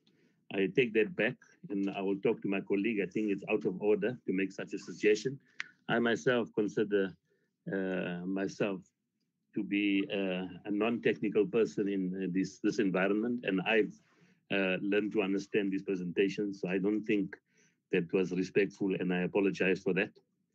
Um, Chair, I also want to say one more thing to get these uh, issues out of the way. A number of the, the, the members raised the concern about the late presentations, and we've been trying to ensure that we don't have these problems and uh, distract uh, ourselves uh, into the non-compliance on the department's part. And I found that the first uh, effort to send the presentation bounced because of the large megabytes in all of these drawings and pictures and a second copy was then sent to Ms. Martinezzi. I hope you have it. And I do also uh, regret and uh, offer apologies in that regard. Uh, the att attachment was sent with the presentation. Somehow the presentation got through, but the attachment bounced back. And we have since sent the the, the attachment uh, to Ms. Martinezzi and apologies there, Chairperson and members of the committee. Chair, to get back to the questions, the first issue that is raised by the members of the committee is on the KwaZulu-Natal uh, project. And then I want to say that um, the department communicated with the KZN Department of, uh, of, of Transport in December 2019. However, by that time, the, the, the, the provincial department had already commenced with the project. So this was something that was raised and communicated to the department after the, the project had already commenced. And it becomes very difficult then to to follow the process rather than play a role um, in its initiation and feasibility. They first communicated during 2018, and somehow the department responded only in December 2019, demonstrating an interest to get involved. But by then, the construction was already 10 months in progress, and a contractor had been appointed the previous year. So that makes it very difficult to engage in a project that the department was unable to participate in from the very beginning. And what I'd like to say is from our point of view as a department, we'd like to support the KZN Department of, uh, of Transport, and, and, and this is the area of our mandate. And at the moment, our DDG for IGR is facilitating the MOU, which should have been done a long time ago. Facilitating the MOU to, to, to, to, to bring the parties together and how we can support each other. And, and that is our intention, uh, given that the, the border fence is our mandate but I must also hasten to add that the MOU will create all the conditions to ensure that this is the project that does not transgress any of the rules. It must have all the site clearances, the environmental impact assessments. It must meet the requirements of the site clearance, as well as uh, constitute value for money, among other things. And it must, most importantly, meet the requirements of the Department of Defense. If it is there purely to prevent vehicles from crossing over into Mozambique, it may not meet all the requirements of the Department of Defense to mitigate border threats. So we'll ensure that in supporting the Department of Transport at KZN, we do so in a manner that is not going to result in any audit or other findings against the Department of Public Works, and that we are able to account for our actions to the Portfolio Committee as well. Just to respond to that particular issue with KZN.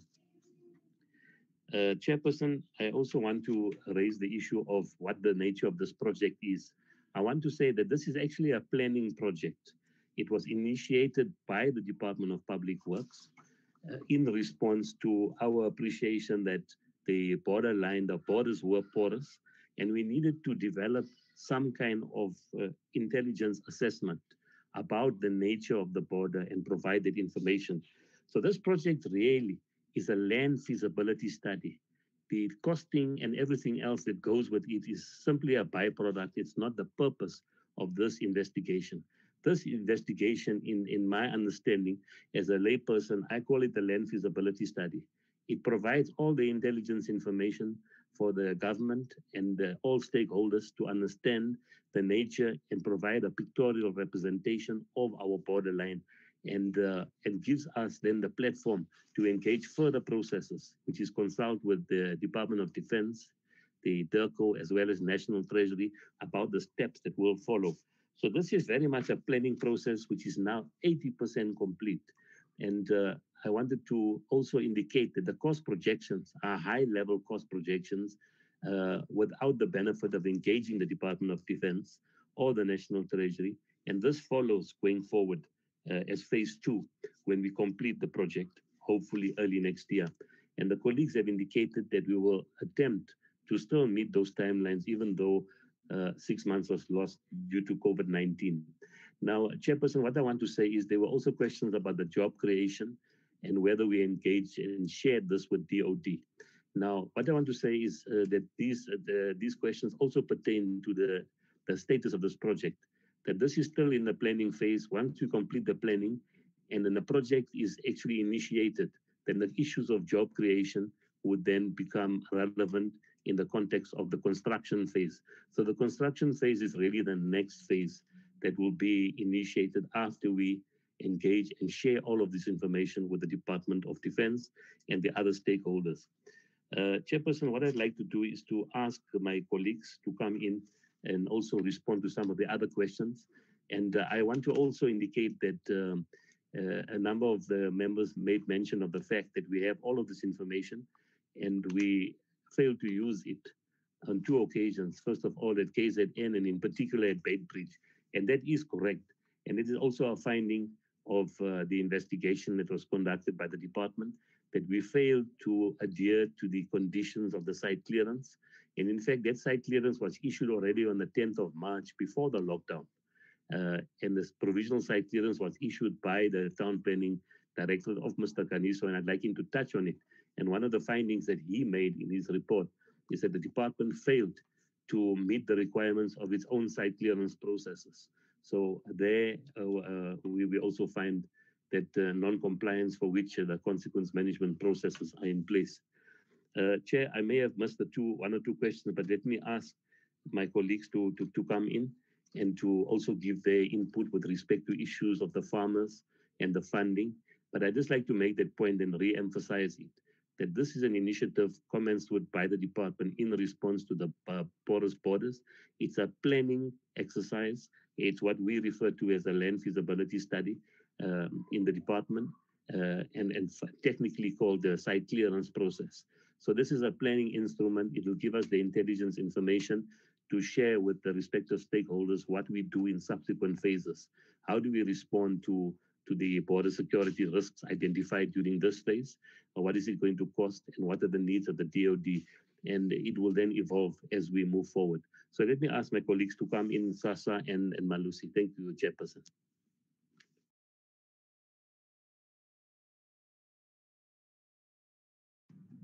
Can I come in?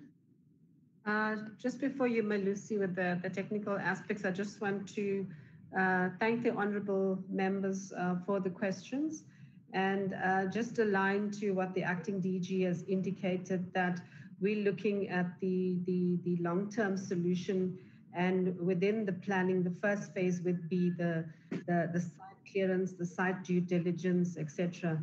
But, but in, um, like alluded to, we went a step further because when you make funding proposals to National Treasury, you require to have certain amount of information, a certain level a first level of due diligence that is done so that when you're making your proposal in terms of the MTF requirements, you have uh, information, although it would be estimated information, to give you an estimate of the project cost. Then the project can be determined as to whether it's going to be a mega project like in this instance, because it's over 350 million Rand per annum, it then gets into the realm of a mega project. And then Treasury looks at it in terms of their funding proposals. This then falls into a PPP realm. The detailed um, feasibility study, what Treasury terms a technical assessment TA1, will be done uh, so more detailed feasibilities will be done based on the information we provide this first level of information. They go into the next level of financial feasibilities to determine then how they're going to fund this project and, and what type of partnerships arrangements they're going to enter into. So this particular study then is supportive of that particular process that is going through. And uh, I think, like some of the members appreciated, that there was some detailed work and, and um, um, uh, initiative uh, that has been taken uh, by the technical team uh, with the appointment of the consultants to look at an integrated approach. Uh, in doing so, um, it was also um, when this, the, the, the, the, particular specifications were drafted was we, we worked um, at the first level with Department of Defense.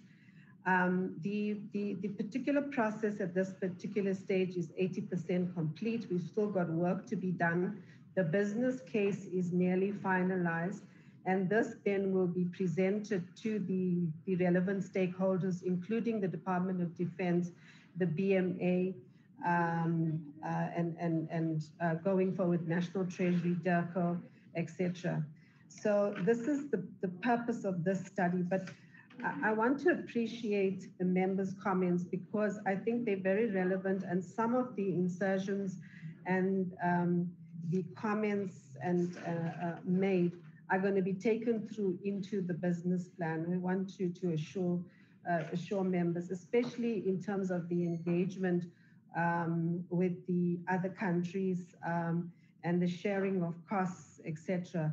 Um, we, we, we've alluded to it um, you know, um, in, in discussions. It's not embodied in the business case. We haven't had uh, detailed discussions with DIRCO as yet. Um, that, that is to come as, as we finalized the business case, etc. We also have not finalized the, the designs and what we are accepting as the, the best solution for the borderline fencing. The specifications, etc., um, that is currently being shared uh, and also not finalized is being looked at by the technical team within the department and being uh, assessed by the um, the architects, um, the QSs, uh, etc. So when the solution is is going to be pronounced upon, it will also be technically sound uh, in, in in that regard. Um, so, so also with Department of Defense, they have engineers, etc., that we will utilize and bring on board. So there's still, you know, an amount of work to be done, a body of work to be done in that regard.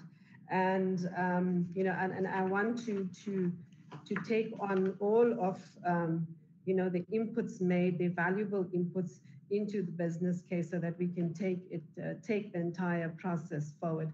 There's also an exercise um, done. Um, uh, Defense also hasn't shared um, that with us from the technology perspective in terms of Department of Defense looking at how they can tighten up their um, patrolling um, of the, the, the, the border, uh, the borders.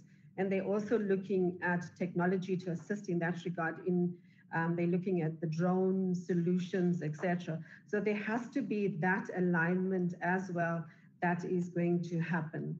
Now, the, the, the, the DG is, is um, you know, setting up a technical team because he is, um, you know, just started acting and he's um, acknowledged that this requires a specific structure and specific dedicated resources to deal with this massive project and give it the due, um, you know, uh, resource and requirements that that um, it, it, it, indeed needs to to have.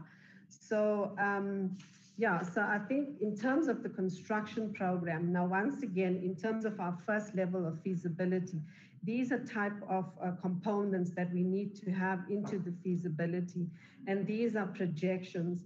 Now the site um, uh, clearance process normally takes anything from one to five years once we get into site clearance. Um, in, in this particular regard, um, and our standard of correction, we won't need massive amount of, uh, you know, bulk infrastructure servicing um, because you have the border posts that are, are already in place. Um, you know, they, they obviously require maybe a bit of expansion, etc. So we will have cost saving times in that regard.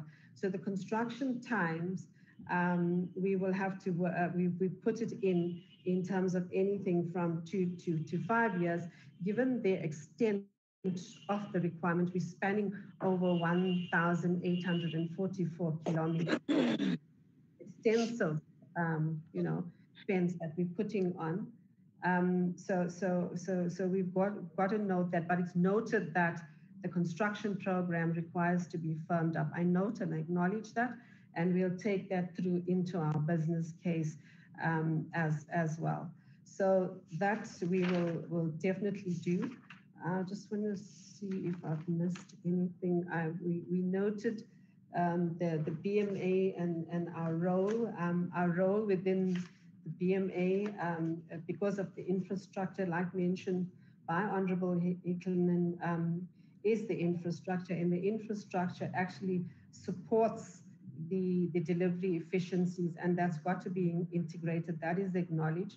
We do play a, a role um, with the BCOCC. We have there's monthly meetings that transpires via the key accounts management unit with historically what was known as the BCOCC component and now the BMA.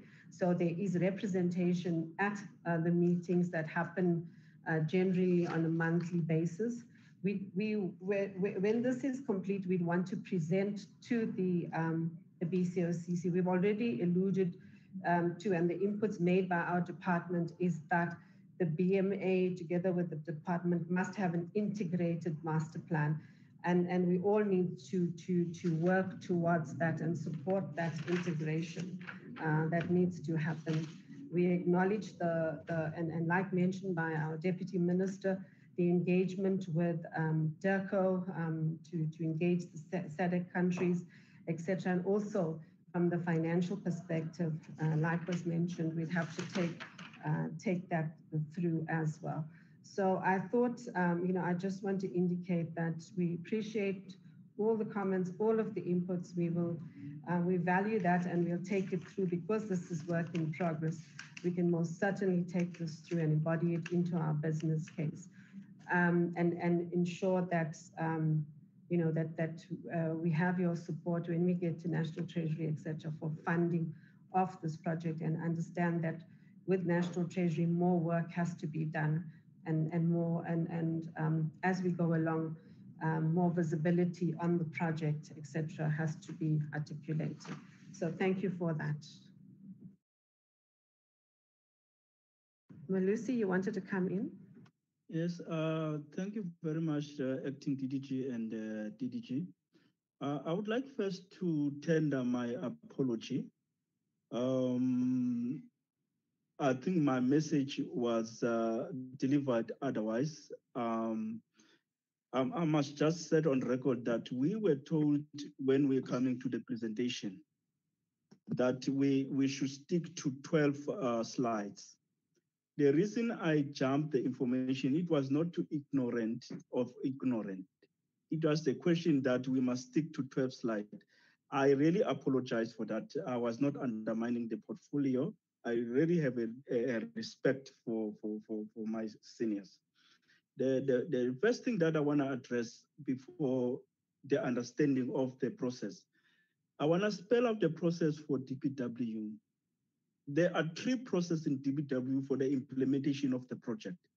It's a pre-planning, which is the site clearance that deals with the legal and the legislative framework to address those issues. We call it the guideline information.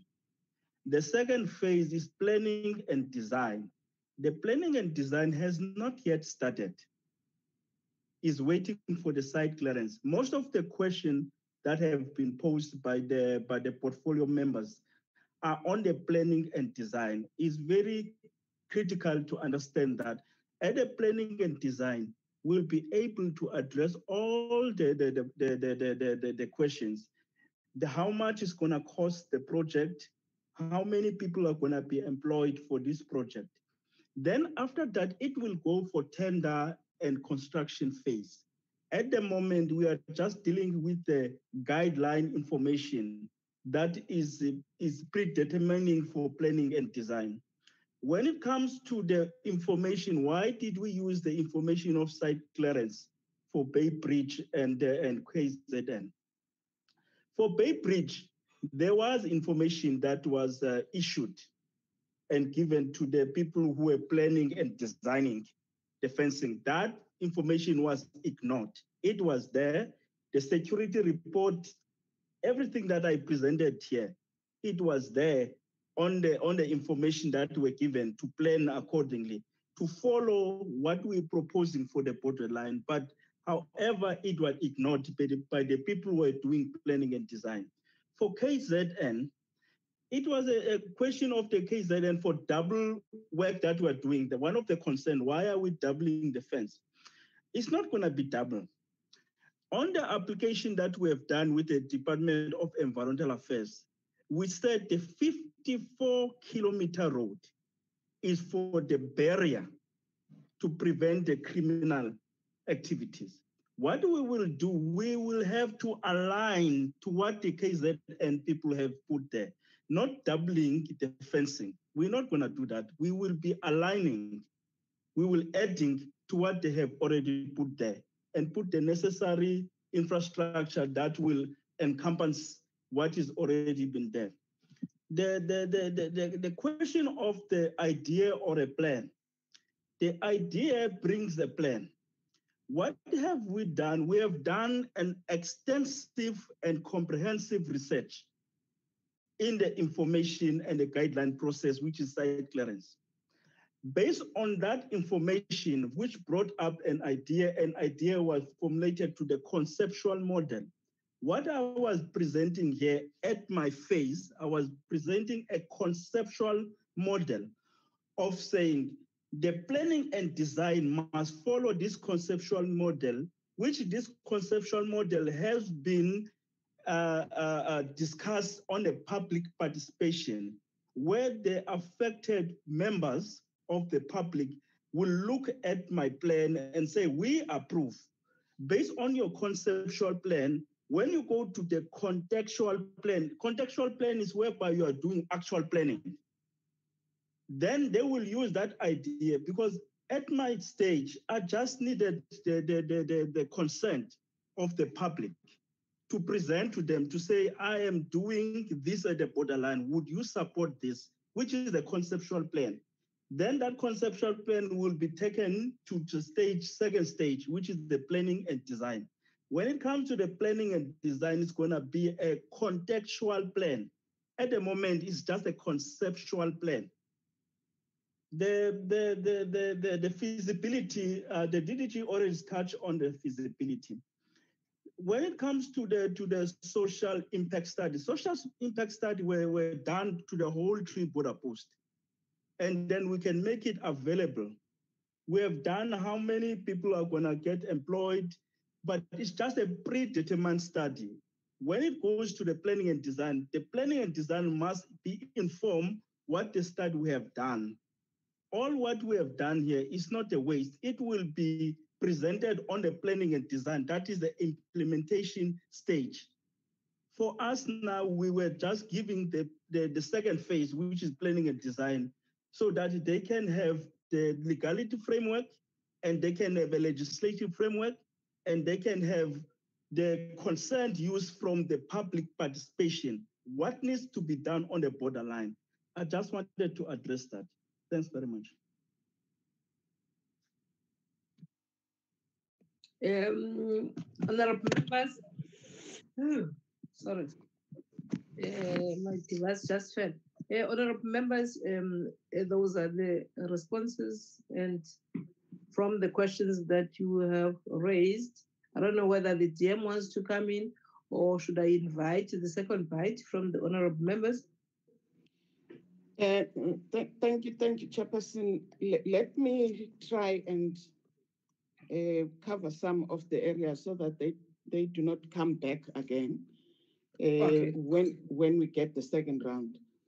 Um, firstly, let, let me indicate uh, and add a, a voice on the apology. First, for the late information.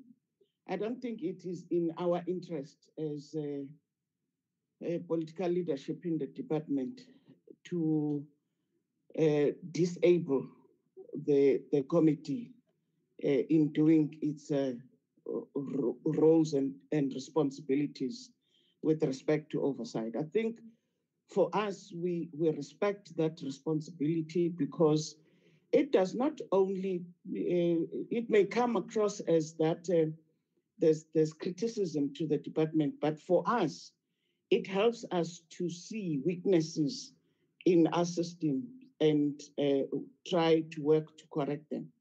And, and therefore, this issue of um, late submission, I hope the two PLOs that are on the line, PLOs from both my office and the minister's office, are taking note that uh, because sometimes these issues run between administration without us knowing that uh, there are delays.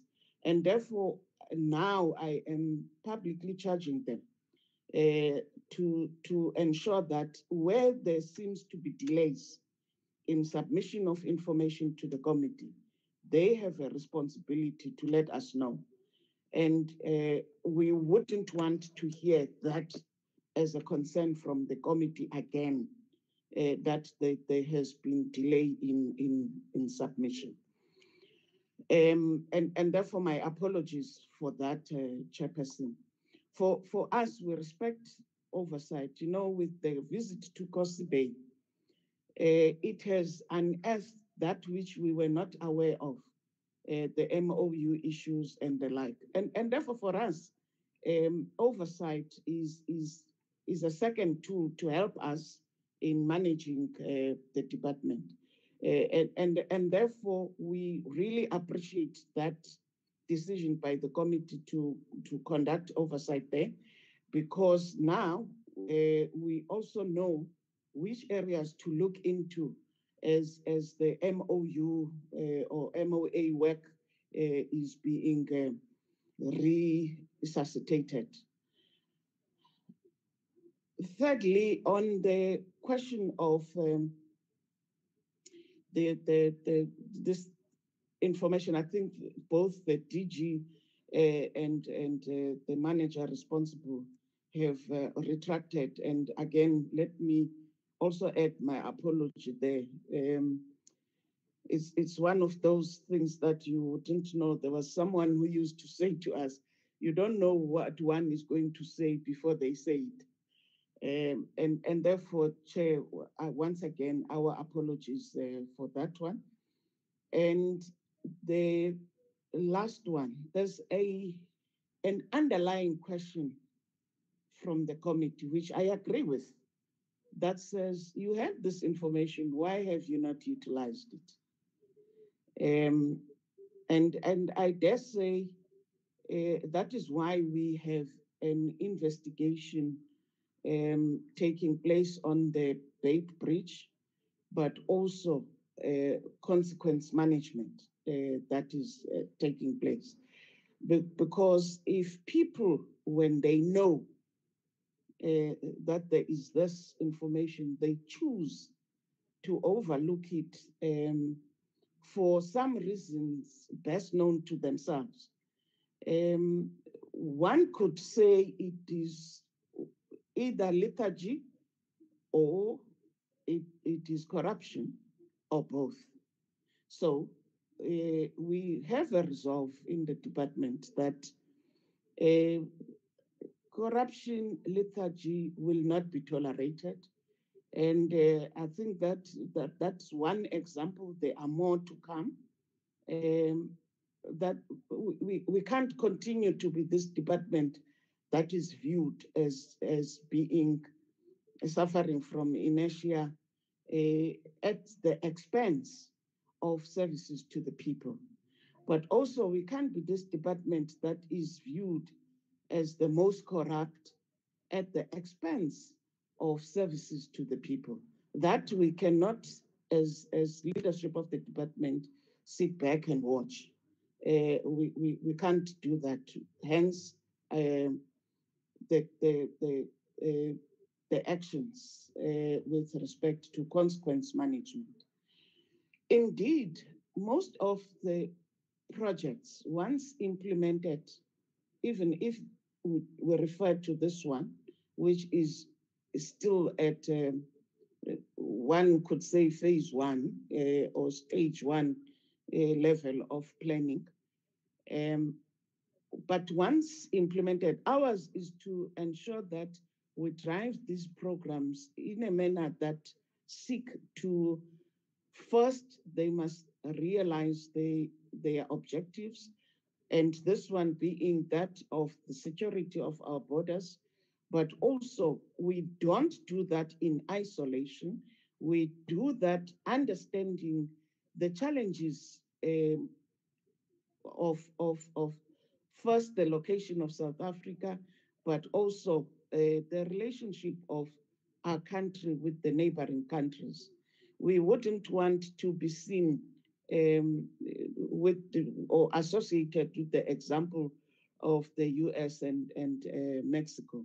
We don't want uh, that kind of uh, example. We would want to be seen as, yes, securing our borders, ensuring that there is uh, free trade between our countries, but um, our borders are, are, are, more secured.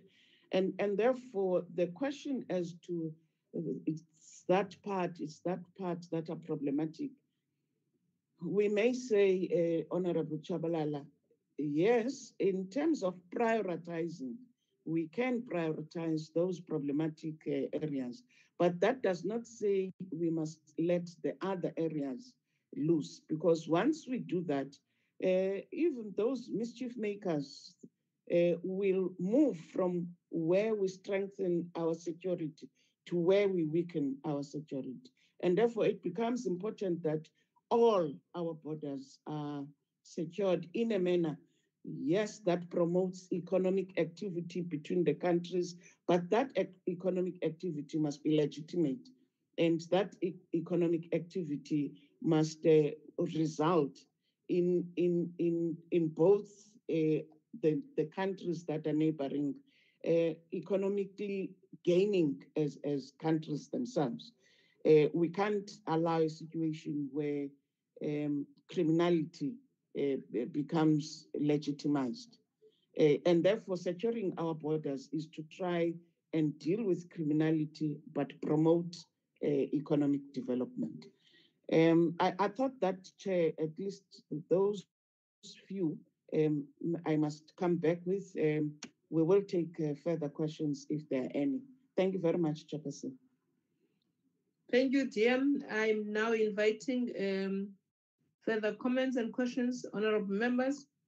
Uh, only the hand of um, Honorable Hicklin has been raised. I don't know whether in this second round or it was raised before but was not. It is the second round, Chair. Okay, thank you, Honorable um, uh, Hicklin and Honorable Siwisa after Honorable Hicklin uh, in that order. Thank you Honorable. so much, Chair. Um, my first and foremost to the DM, thank you so much for your comments. It's it's very heartening to me that we have someone from the senior echelons within the ministry who understands our need to be able to ask questions and get answers to them. My, my, my question is not so much a question as a comment to Ms. Saban. Um, when we're talking about the finances, because I understand that one has to present finances to the National Treasury in order to, to register that we have a project that needs to go forward. But I, I, I just need to reinforce that these are SANRAL based figures from two years ago. And therefore, in my estimation, humble that it may be, these are absolute thumbsucks. And I think that in order to present a more credible figure to the National Treasury and to the various other stakeholders, I think we need to be more realistic in our figures that we present because I don't know. I mean, I can say to you that it's going to cost five Rand when in essence I know for a fact five rand is not even get, going to get my toe in the water. And I'm just concerned, as astronomical as these figures are, my question to you is how realistic are they? Thank you, Chair. Honorable Siwisa. Honorable Siwisa, Sorry, Hola. Chair. Yeah, I'm here, sorry. Uh, Chair, thank you, thank you for the responses and um, and also the response from the, from, from the presenter that did the presentation on the technical what what. So it's not his fault. We'll deal with it in another meeting. Uh, Chair, uh, I, I need clarity again because there are there are dates set for completion of projects. And then we are told that it's only a plan and implementation or a draft of what needs to be done. And yet we've got dates that have been put down, February 21st, January 2021, January 2021. And yet again, we are told that there still needs to be consultation with other departments, specifically National Treasury, specifically Defense, specifically DIRCO, as to what is the way forward. So I don't understand if, are we talking about the same thing here? Are we talking about the projects that are already running? Or are we talking about the presentation on what's the best way to deal with uh, people entering South Africa illegally at this instance. So it seems as if we are talking about two things. Slide seven talks about estimated frames for completion, and then we were told about six months. Couldn't finish the projects because of the COVID and the lockdown and everything. And then again, in passing, I heard the presenter talking about, because my question was, why wasn't this implemented in dealing with the issue of the Bay Bridge? And then the response was, everything was there, but none was used. And maybe either the acting DG or the DM can answer as to if they feel that there is this plan again, which again the answer says is just a plan, it hasn't been presented well as to whether it will work. We haven't consulted other departments. Because if I can remember properly, in the SCOPA meeting when the, the issue of Beitbridge was dealt with, and the, the, the, the, um, the Minister of Defense spoke about drones. Even the Minister of Public Works spoke about looking into drones and everything. So I need clarity which one is which. Are these projects already there? The technical aspect that has been presented, is it going to be implemented there? Or is something else going to be implemented whereby also there's an issue of feasibility hasn't been done and everything. So slide seven, are the projects running? Are we using what was presented to us about the drones and the sensors and everything? If not, what is being what is being implemented in those borders pertaining to control maneuvering of people between the two countries the three countries that are linked to South Africa. So I get a feeling that we are talking about, maybe I'm, I'm a bit slow, but I get a feeling that we are talking about two separate things. Maybe if I can get clarity on that. Is this slide seven? Is it something else, an extra A? Is it something else or is it something concurrently? Because if it's if we are talking about the same thing that's going to be implemented, and then we are told that there hasn't been any consultation, then I think that we are sitting with a problem here. Thank you, Chair. Honorable Mashele.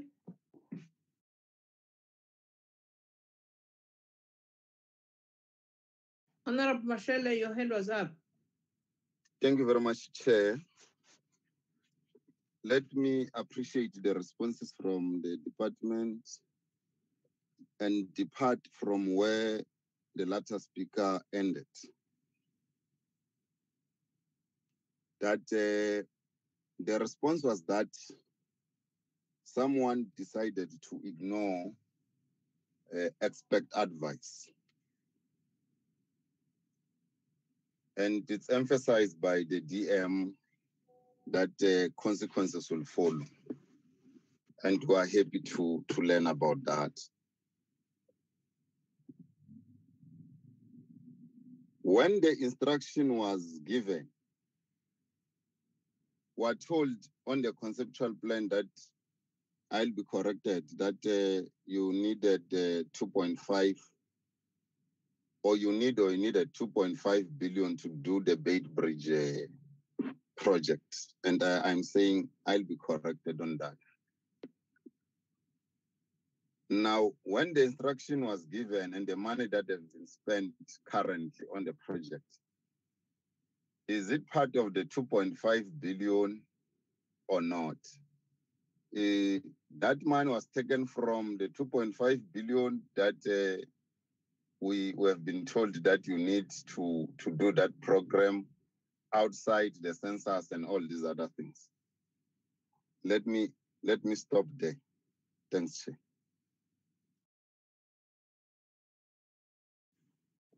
Thank you, uh, honorable members. Um, uh, acting DG and the team.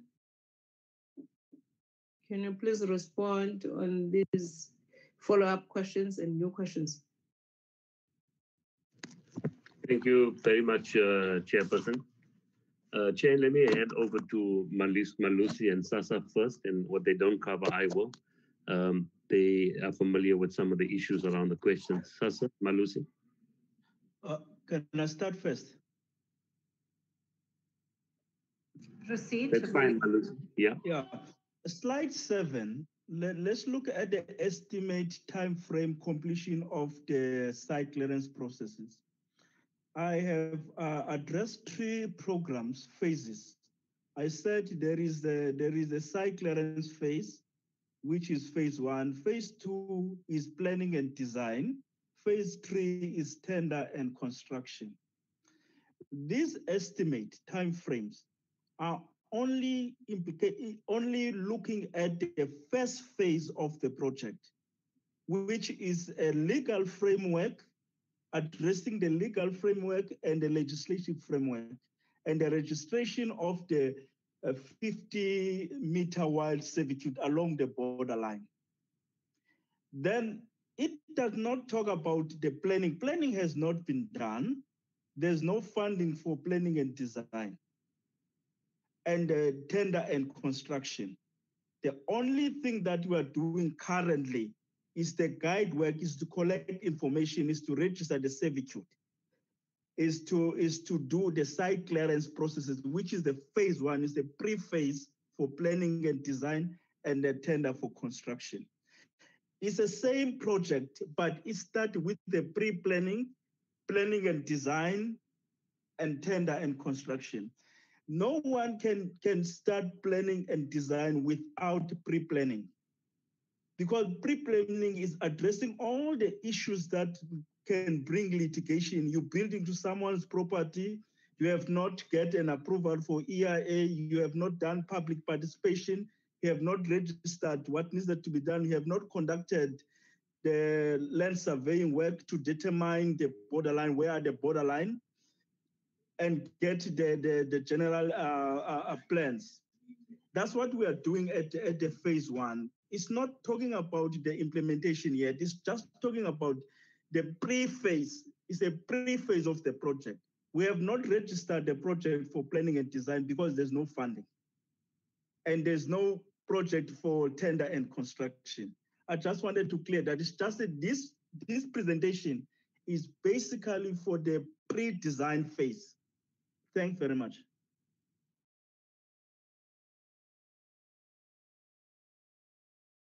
Sasa, you want to add before I come in?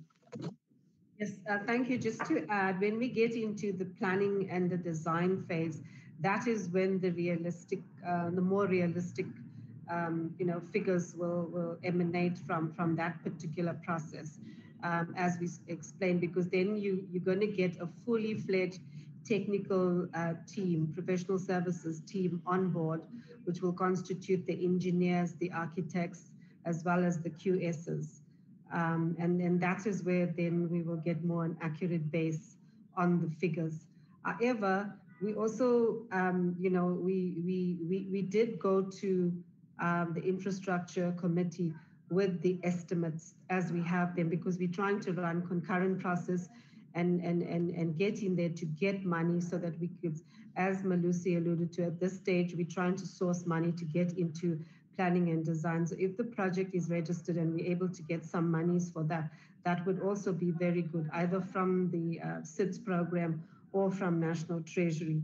And, um, and, and so there's concurrent processes running to get towards that. And that includes the consultation process uh, with the relevant stakeholders at this stage, mainly with, uh, with, with the Department of Defense uh, and the BMA. So, so it's just to get into that level before we get into construction, etc. So this is all of the work that we're sharing with you. We've indicated it's it's it's work in progress and uh, it's the first level of the planning phase. Thank you. Thank you very much, uh, Sasa. Chairperson, uh, if I can uh, just conclude our response uh, by indicating that this particular document, when complete, hopefully early next year, will provide us with a comprehensive understanding of, of uh, the land and the land feasibility study can be used as a basis to engage the other stakeholders towards addressing the question of our porous borders. So ultimately, even though there's so much of work uh, to, to, to still complete uh, in terms of subsequent phases, we've placed ourselves in a position of strength to address the issue of porous borders and to take uh, the subsequent decisions and this entire process forward. So uh, I'd like uh, to communicate that to the committee that uh, it's something that, you know, that was necessary given the years of deterioration of our borderline and border fences. And we now understand where the borderline is. We know the land topography. We've conducted the land surveys and we're in a position to take the next step. Uh, and we are hoping to engage the committee for support in our engagements with with the other departments, especially DOD and National Treasury, to make the entire project come to fruition. And then finally, Chair, um, Honorable Mashele made mention of somebody ignoring the expert advice. And I'd want to confirm that on the 10th of March, the town planning unit issued a provisional site clearance certificate for the entire borderline that it included the vicinity within Beitbridge. And within one week, on the 17th, a site visit was uh, conducted and uh, the decisions were taken to put up the 40 kilometers, 20 on either side of the border post. And in that meeting and subsequent bill of quantities, there was already a transgression with the site clearance uh, authority given a week earlier.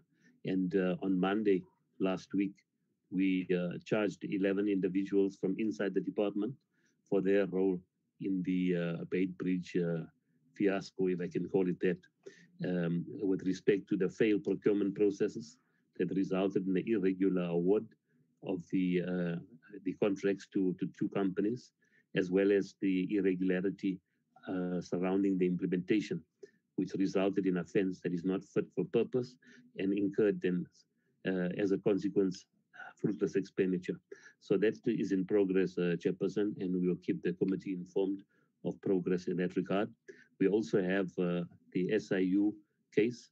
The SIU has brought an application to the tribunal to set aside some of these contracts given their unlawful nature and that they were awarded in an unlawful manner and to recover any uh, payments from the contractors that was not due to them. We've also reported this matter to the Built Environment Professional Councils to investigate the consultants who were involved in this matter. We found especially that the, the, the company called the implementing agent, Prof Team, they breached their fiduciary duties towards the department and they developed a bill of quantities almost three times the value of the contract and the cost to the contractor, and they breached their responsibility towards us. Uh, we also uh, reported the matter to the police through the SIU with respect to the advance payments were made with fraudulent uh, intent, in that the payments were made and uh, and they were consummated with a false pretense that work was already complete, and almost 60% of payments were made within uh, three days of the conclusion of the of the contracts. So, Chairperson, all of those consequence management processes are in place, and we will keep the committee informed as it unfolds. Thank you.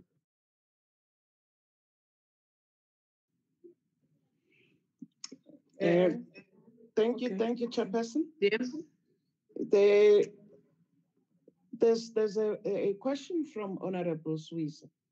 And I, I do want to say that, um, uh, honorable members, that issue or the, the point raised in Scopa by um, Minister of Defense, much as I would not be speaking on her behalf, but my understanding is that um, th- there is nothing um, what different or conflicting with what is being raised in the plan around the issue of drones.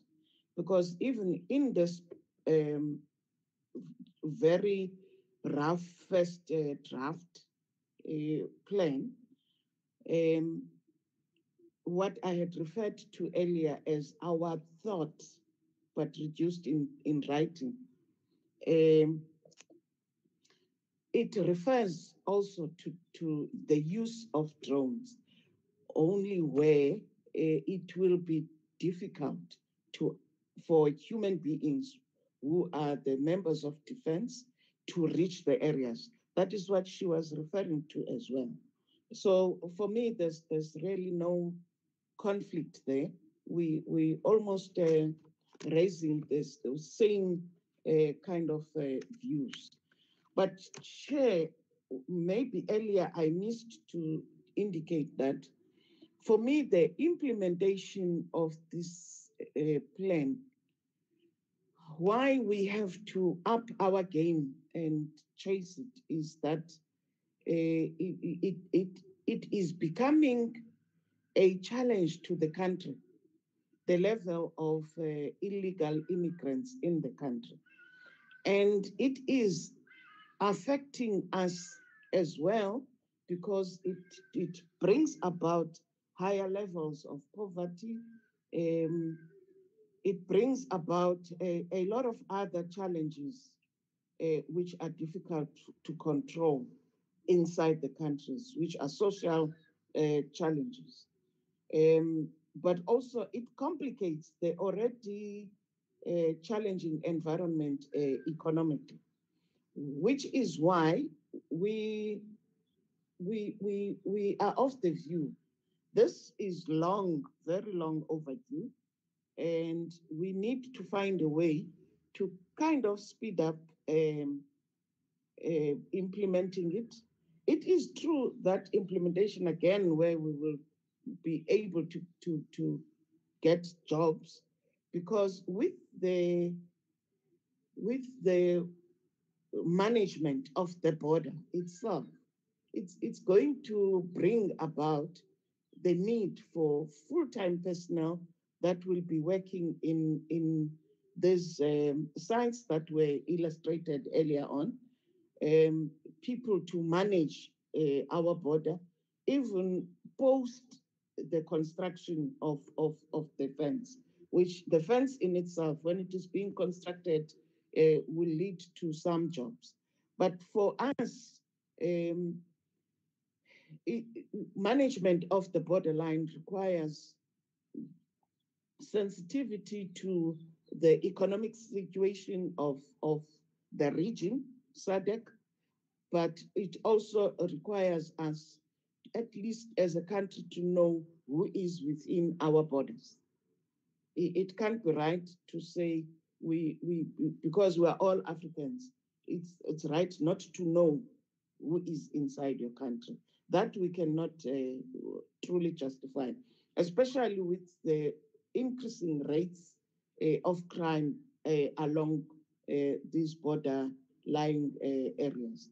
Uh, and therefore, for us, we're having the understanding of the portfolio committee on the need to speed up ensuring that we finalize the plan, we involve all role, role players, we implement uh, so that we stop this thing of saying this was started so many years ago and we end up having to ask ourselves but if this was seen then that it will help the country why was it not implemented?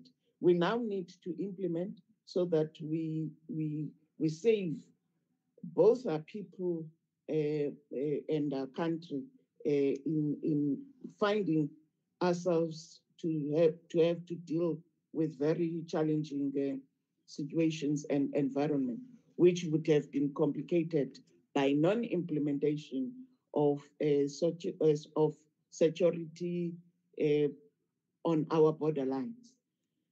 I, I thought that, uh, Chairperson, let me, in, in finalizing this, that we, we have to, as humanely as possible, but uh, as surely, securely as possible, ensure that uh, in the country we know who's here, and De- Department of Public Works, as this provider for infrastructure, must must quickly act uh, with respect to this. Of course, in, in, in conjunction with the Border Management uh, Agency, as well as the team of departments that are involved uh, in the work uh, of our borders. Um, thank you very much for the opportunity once more, uh, Honorable Chairperson.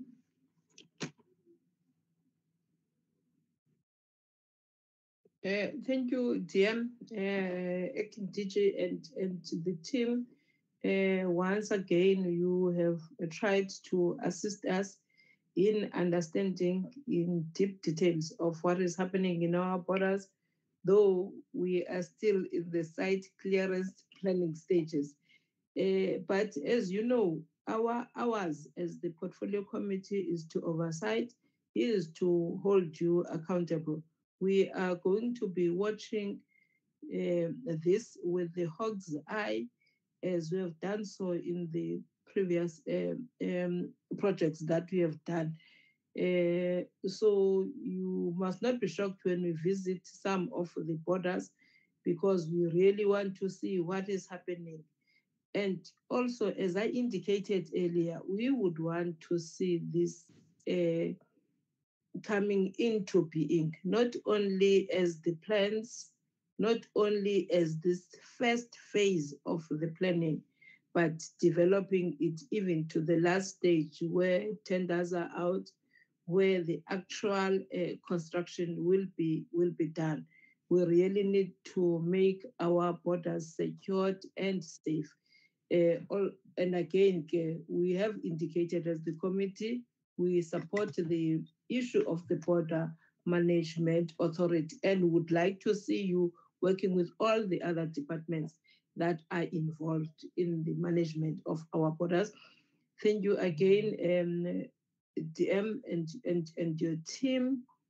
Uh, uh, I think you we may release you now because we'll be dealing with the minutes of the previous uh, meetings that we we held uh, before the end of the day. Yes, Honorable Mashele. Honorable Mashele. Thank you very much, Chair. A quick one. The, the, the context of my question regarding someone who decided to ignore, it's on the, it's not on the basis of the technical specification of the Beitbridge border post and what transpired. I am saying, check. The presentation today tells us that the department has a plan and it understands the kind of a borderline that you need. With that, there was an instruction in Beitbridge, and the rest we know we know it. Now, probably to assist the process, because there is an admission from uh, the acting DG, the DM. Maybe the department must assist us to give us a progress report in two weeks and tell us what they have done as consequence management in relation to those that decided to ignore the instruction. Because not, not, not those that decided to ignore the, the, the technical aspect or advice that is presented before us today. I don't know whether I'm making sense, Chair. Thank you, uh, Honorable Mashele. but but uh, Honorable Mashele, I, I don't think your your question, uh, what what you have said later on, you that you would want a report uh, that we are really interested in. We got the SIU report. The acting DG has presented that the, there are steps that they have taken. We we want constant reports. Um, whatever that is happening, not not being presented acting DG the way as by the way, we want written reports on the issue of Beitbridge because we have to inform South Africa that the the the action that you are taking are they really happening? So can we get that report? I, think let's let's stop there saying that we want a report, uh, a written report of what is happening now uh, after the SIU investigation, after people being charged, have they been uh, released from the work or whatever? We want that report. I, I think we must stop there for today on the issue of the Beitbridge. We have discussed it several times. We have a report that is going to Parliament with the recommendations, but now we want an update on what is happening within the department on acting on the SIU report. Thank you, Honorable Mashele. Uh, DM and the team, can you be released? Nola, can we deal with the minutes? Thank you, thank you, Chairperson. Enjoy your day further. Thank you. Thank you, Chairperson and honorable members. Thank you, Chairperson.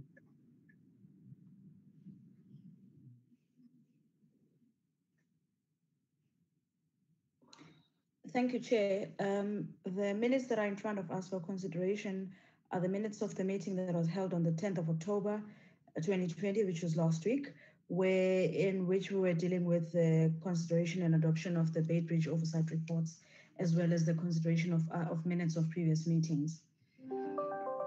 And I, again, I would like to urge the honorable members to check the attendance register and see if um, it has been captured correctly.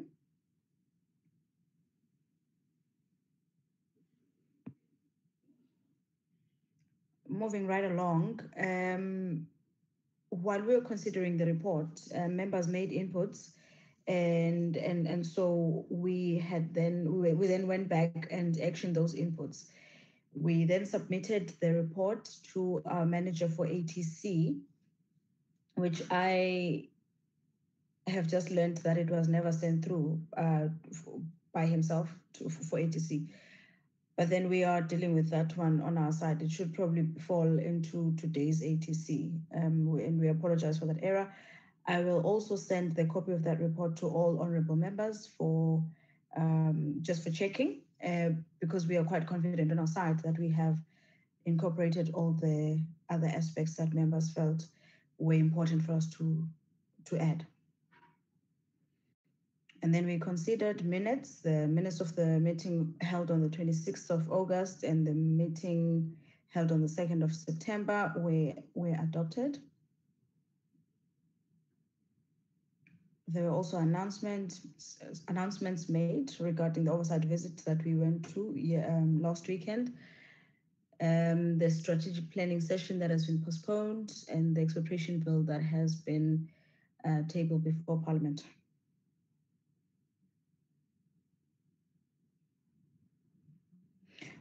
Okay, on the resolutions, it, it basically speaks to the two resolutions um, are speaking to the inputs by the honorable members, in which they're saying the minister is the one responsible for the running of the department, and as such, uh, she remains accountable for everything that transpires under her watch. So this recommendation was therefore added to the report, as you may see, um, as you will see when we get to send the report. And the second recommendation was also added to, to the report. That should be all from my side, Chairperson, regard, regarding minutes.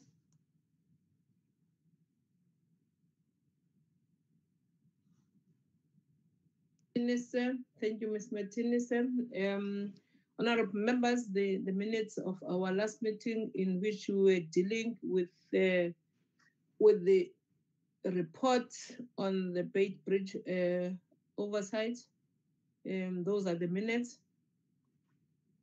Any comments, question?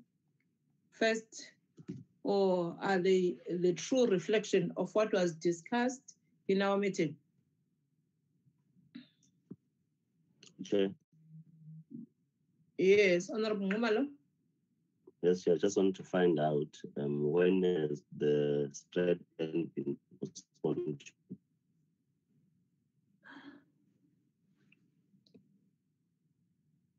Ms. Martinez? Oh, thank you, Chair. Yeah. The, the Office of the House Chairperson issued focus areas, revised focus areas uh, sometime last week. Um, this issue of strat planning sessions for all the portfolio committees has been put on hold. And therefore, we will await um, a go ahead from that office as of to when, when again can we go ahead and do our strat planning sessions. Thank you, Shane. Thank you, Ms. Martinez. Any Honorable Ngumalo? No, I'm saying thank you to you and uh, Nola for the response. Uh, um, any any mover for the adoption of the minutes? A person. Honorable Van Van Schalkwyk. I'm moving for adoption of the minutes, Chair, uh, noting that uh, uh, the, the strat plan would have also included our engagement in terms of our BRRR process. So seeing that uh, it was not approved, what is the way forward in terms of our BRRR engagements? Can I come in, Thank Chair? Yes, there's also a hand. Or was it before, Honorable Mashele? No, it's before, Chair, Okay, okay, okay, okay. but I agree with the minutes, Chair. Thank you, Honorable Mashele. Honorable, you, Ms. Martinez? Thank you, Chairperson. Um, the revised focus areas, honorable members and honorable chair, were also inclusive of a, a an indication that the the submission of BRRRs has also been postponed. Um, just as we had earlier proposed to, to our management and, and the Office of the House Chair. So they have now been postponed for all the departments that have not yet tabled their annual reports to Parliament have also been given leeway to at least submit by latest the 12th of November, no, the 16th of November. And therefore we have the, the we have been given the period 17th to the 19th of, of, of, of um, November to start the process of the BRRR and therefore submit by the 19th. So the department will submit by the 16th of November. We should be working on our BRRR process from 17th to 19th of November. Thank you, Chairperson. Thank you, Ms. Martinez. Uh, the, the Honorable Van Schalkwyk move for the adoption of the minutes and Honorable Mashele uh, seconded that move. Um, any announcement? Chair, be, before the announcement, Yes, Honorable Mashele. thank you very much uh, uh, for allowing me this opportunity, and it's good that uh, I'm raising this outside the department. Chair, the the point I was trying to raise earlier, Chair, is that had the the Bait Bridge border issue being implemented with the right, with the correct height, the correct quality of the fence, uh, with all the legislate, your EIA and all these things correct, you were still going to have a problem that the department have got expert advice that says putting a fence alone is wrong if you don't put technology. Now, the department took advantage of COVID. You see, we must not allow them that today they tell us this, tomorrow they come and contradict themselves. Had they put a fence fit for purpose, it was going to be fit for purpose, but still you're going to have a problem because they have commissioned man of the department, did investigations. They know that even if you can put whatever kind of fence, it will be wrong. So we must not allow this thing to that as and when they feel they want to give us something, they come and give us. They can't sit in the offices with information that says putting a fence alone is wrong. And still, because there is COVID, they go and do that. Thanks, Chair, for allowing me to, to raise this issue. Thank you, Honorable Mashele. Uh, we have noted that, and um, I think it, it has been the basis of what happened wrong there. Uh, you correct. Thank you again, Honorable Mashele. Uh, I've noted you, and I understand your frustration. We have to ensure that whatever that is being done by the department that we oversighting is fit for purpose and is good. And the reality, we are dealing here with a department that has all previously kinds of corruption. Uh, a department that in all these years of its existence, it has done things wrongly. I think the way we're dealing with the things as this portfolio committee, ensuring that we are just behind them so that they do what is correct, we are on the right track. You are correct, Honorable Mashele, again. I think as this committee, we are on the right track in probing everything that they are presenting to us. We must leave no stone unturned in ensuring that the public purse is utilized what is fit for purpose. And when they come to us with information, they must not come to us with just information, just for bringing it to the committee. We must ask these probing questions that Honorable Mashele is asking. Thank you again, young lion. Um, honorable members, I must appreciate again the way our committee has been dealing with the issues ever since we were uh, appointed to this committee 2019. It has been a year. I don't want to lie, it has really been a year. A committee that today had about three media houses listening to it. They were here, they were listening to us. It shows that there's something good that we are doing. So let's not um singaphela amandla ke malungu committee let's work hard let's ensure that South Africa knows what is being done by public works and infrastructure let's play our role in ensuring uh, what is good comes out of whatever that is being done by this. We will follow up all this issue of the border fences. Thank you again. Uh, thank you again. Nola, the meeting is adjourned. Thank you, members. Thank you, Chair.